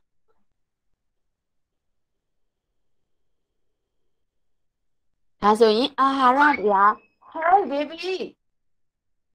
အမေစားတဲ့နေတယ်လေ baby ရဲ့ဟုတ်ပြီနော်ရာမိတ်ဆွေများဒါဆိုရင်ဒီအာဟာရတရားလေးပါးကိုရာမိတ်ဆွေများကြက်နိုင်မလားရှင်ရမလားကျန်နိုင်ပါတယ်ဒါဆိုရင်အခုအခုမိတ္တကတင်ငယ်ဟာမှာဟေးဇာမက်က အိမ်ဗလာအဒီအာဟာရဆိုပြီးတော့တရားအကျင့်ဘယ်နှပါတော့9ပါတရားအကျယ်ဘယ်နှပါတော့63ပါ 64 64ပါဟုတ်သလား နော် ဟုတ်ဟုတ်64ပါ ဟုတ်ပြီနော်โอเคအဲ့ဒါဆိုရင်အခုဒရာမိတ်ဆွေများနဲ့ဟိတ်တရား6ပါပြီးသားပြီဇာနေတရား9ပါမက်ခင်ဟိတ်စာမက်ကမက်ခင်တရား12ပါအိန္ဒြေ22ပါဘုဒ္ဓတရား9ပါပြီးတော့ ဒီပတိ အဲအဓိပတိတရား၄ပါအာဟာရတရား၄ပါ မိုင်းတကားတင်ငဟာရဲ့ဒါမှမဟုတ်တရားအကျဉ်း9ပါတရားချက်64ပါပြီးသွားပြီဖြစ်တယ်။ဒါဆိုရင်မနေ့ပြန်ကြတော့မှဒီအချုပ်ကလေးကိုပြောရင်းနဲ့ဘာလေးပါဆက်ပြောမလို့ဆိုတဲ့အခါကျရင်မိတကားတင်ငဟာရဲ့ဇရာလေးရှိလိမ့်မယ်။ဌာနရည်တွက်တဲ့ဇရာလေးရှိလိမ့်မယ်။အဲ့ဒီဇရာလေးကိုပိုင်းမောတခါတည်းရှင်းပြီးတော့မှမနေ့ပြန်မှာမိတကားတင်ငဟာကိုလက်စားတက်ပြီးတော့ body back ရတင်ငဟာကိုဆက်သွားကြမယ်နော် drum လေးဆိုတာ။ Okay ဒါဆိုရင်အားလုံးပဲ ဖျားရှိကိုမြာတန်ပေးဝေပြီးတော့တနန်းဆင်းကြမယ်လေနော်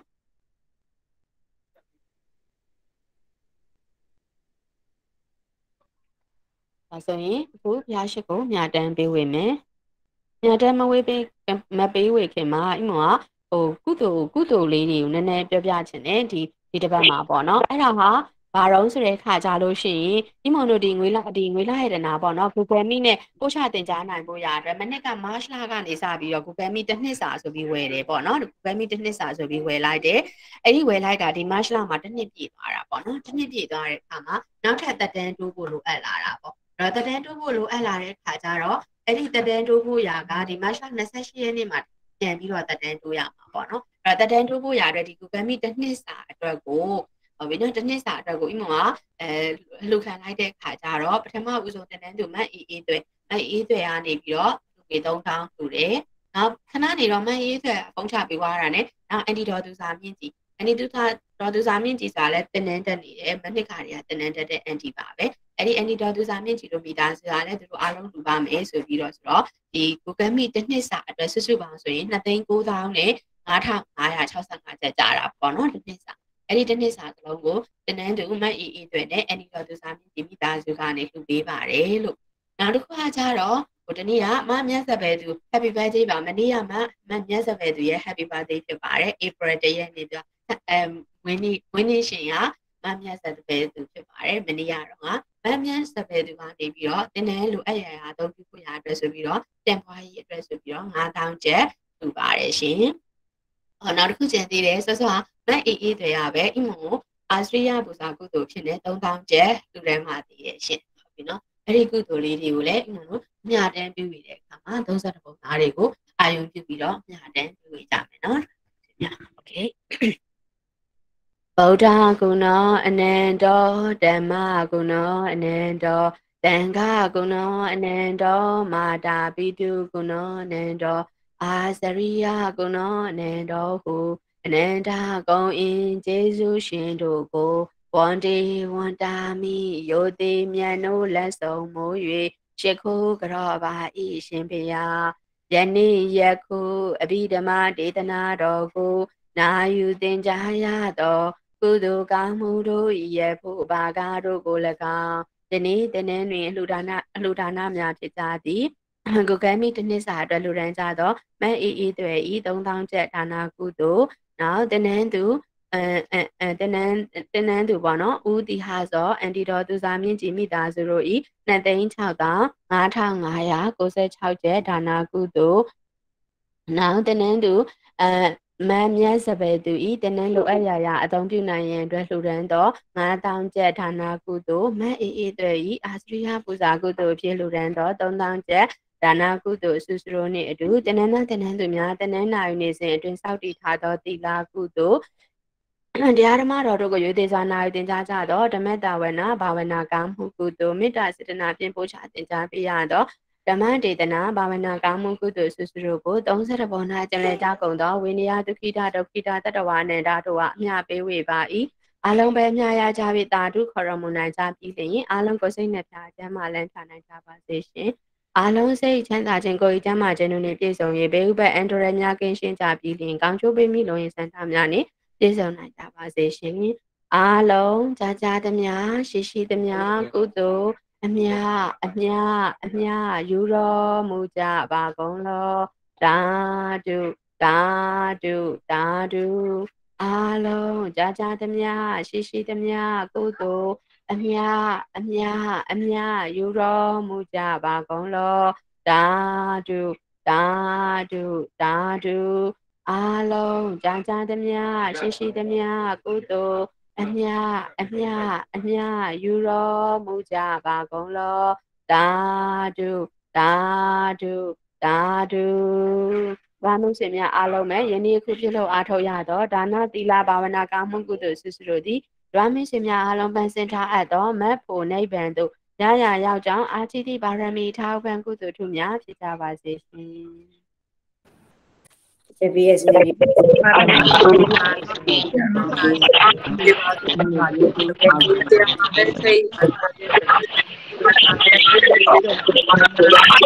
ပါဒေ ဒေတာစနေ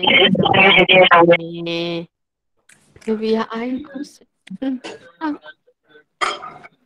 နောက်ဆက်လာအောင်ဟယ်လိုဟယ်လိုမပြတ်တော့အင်းတတိုင်းနေပါပါလို့တိုင်းနေပါပါတဲ့အမ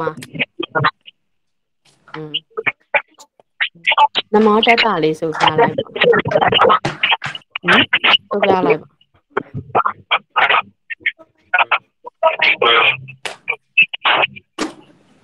ừ.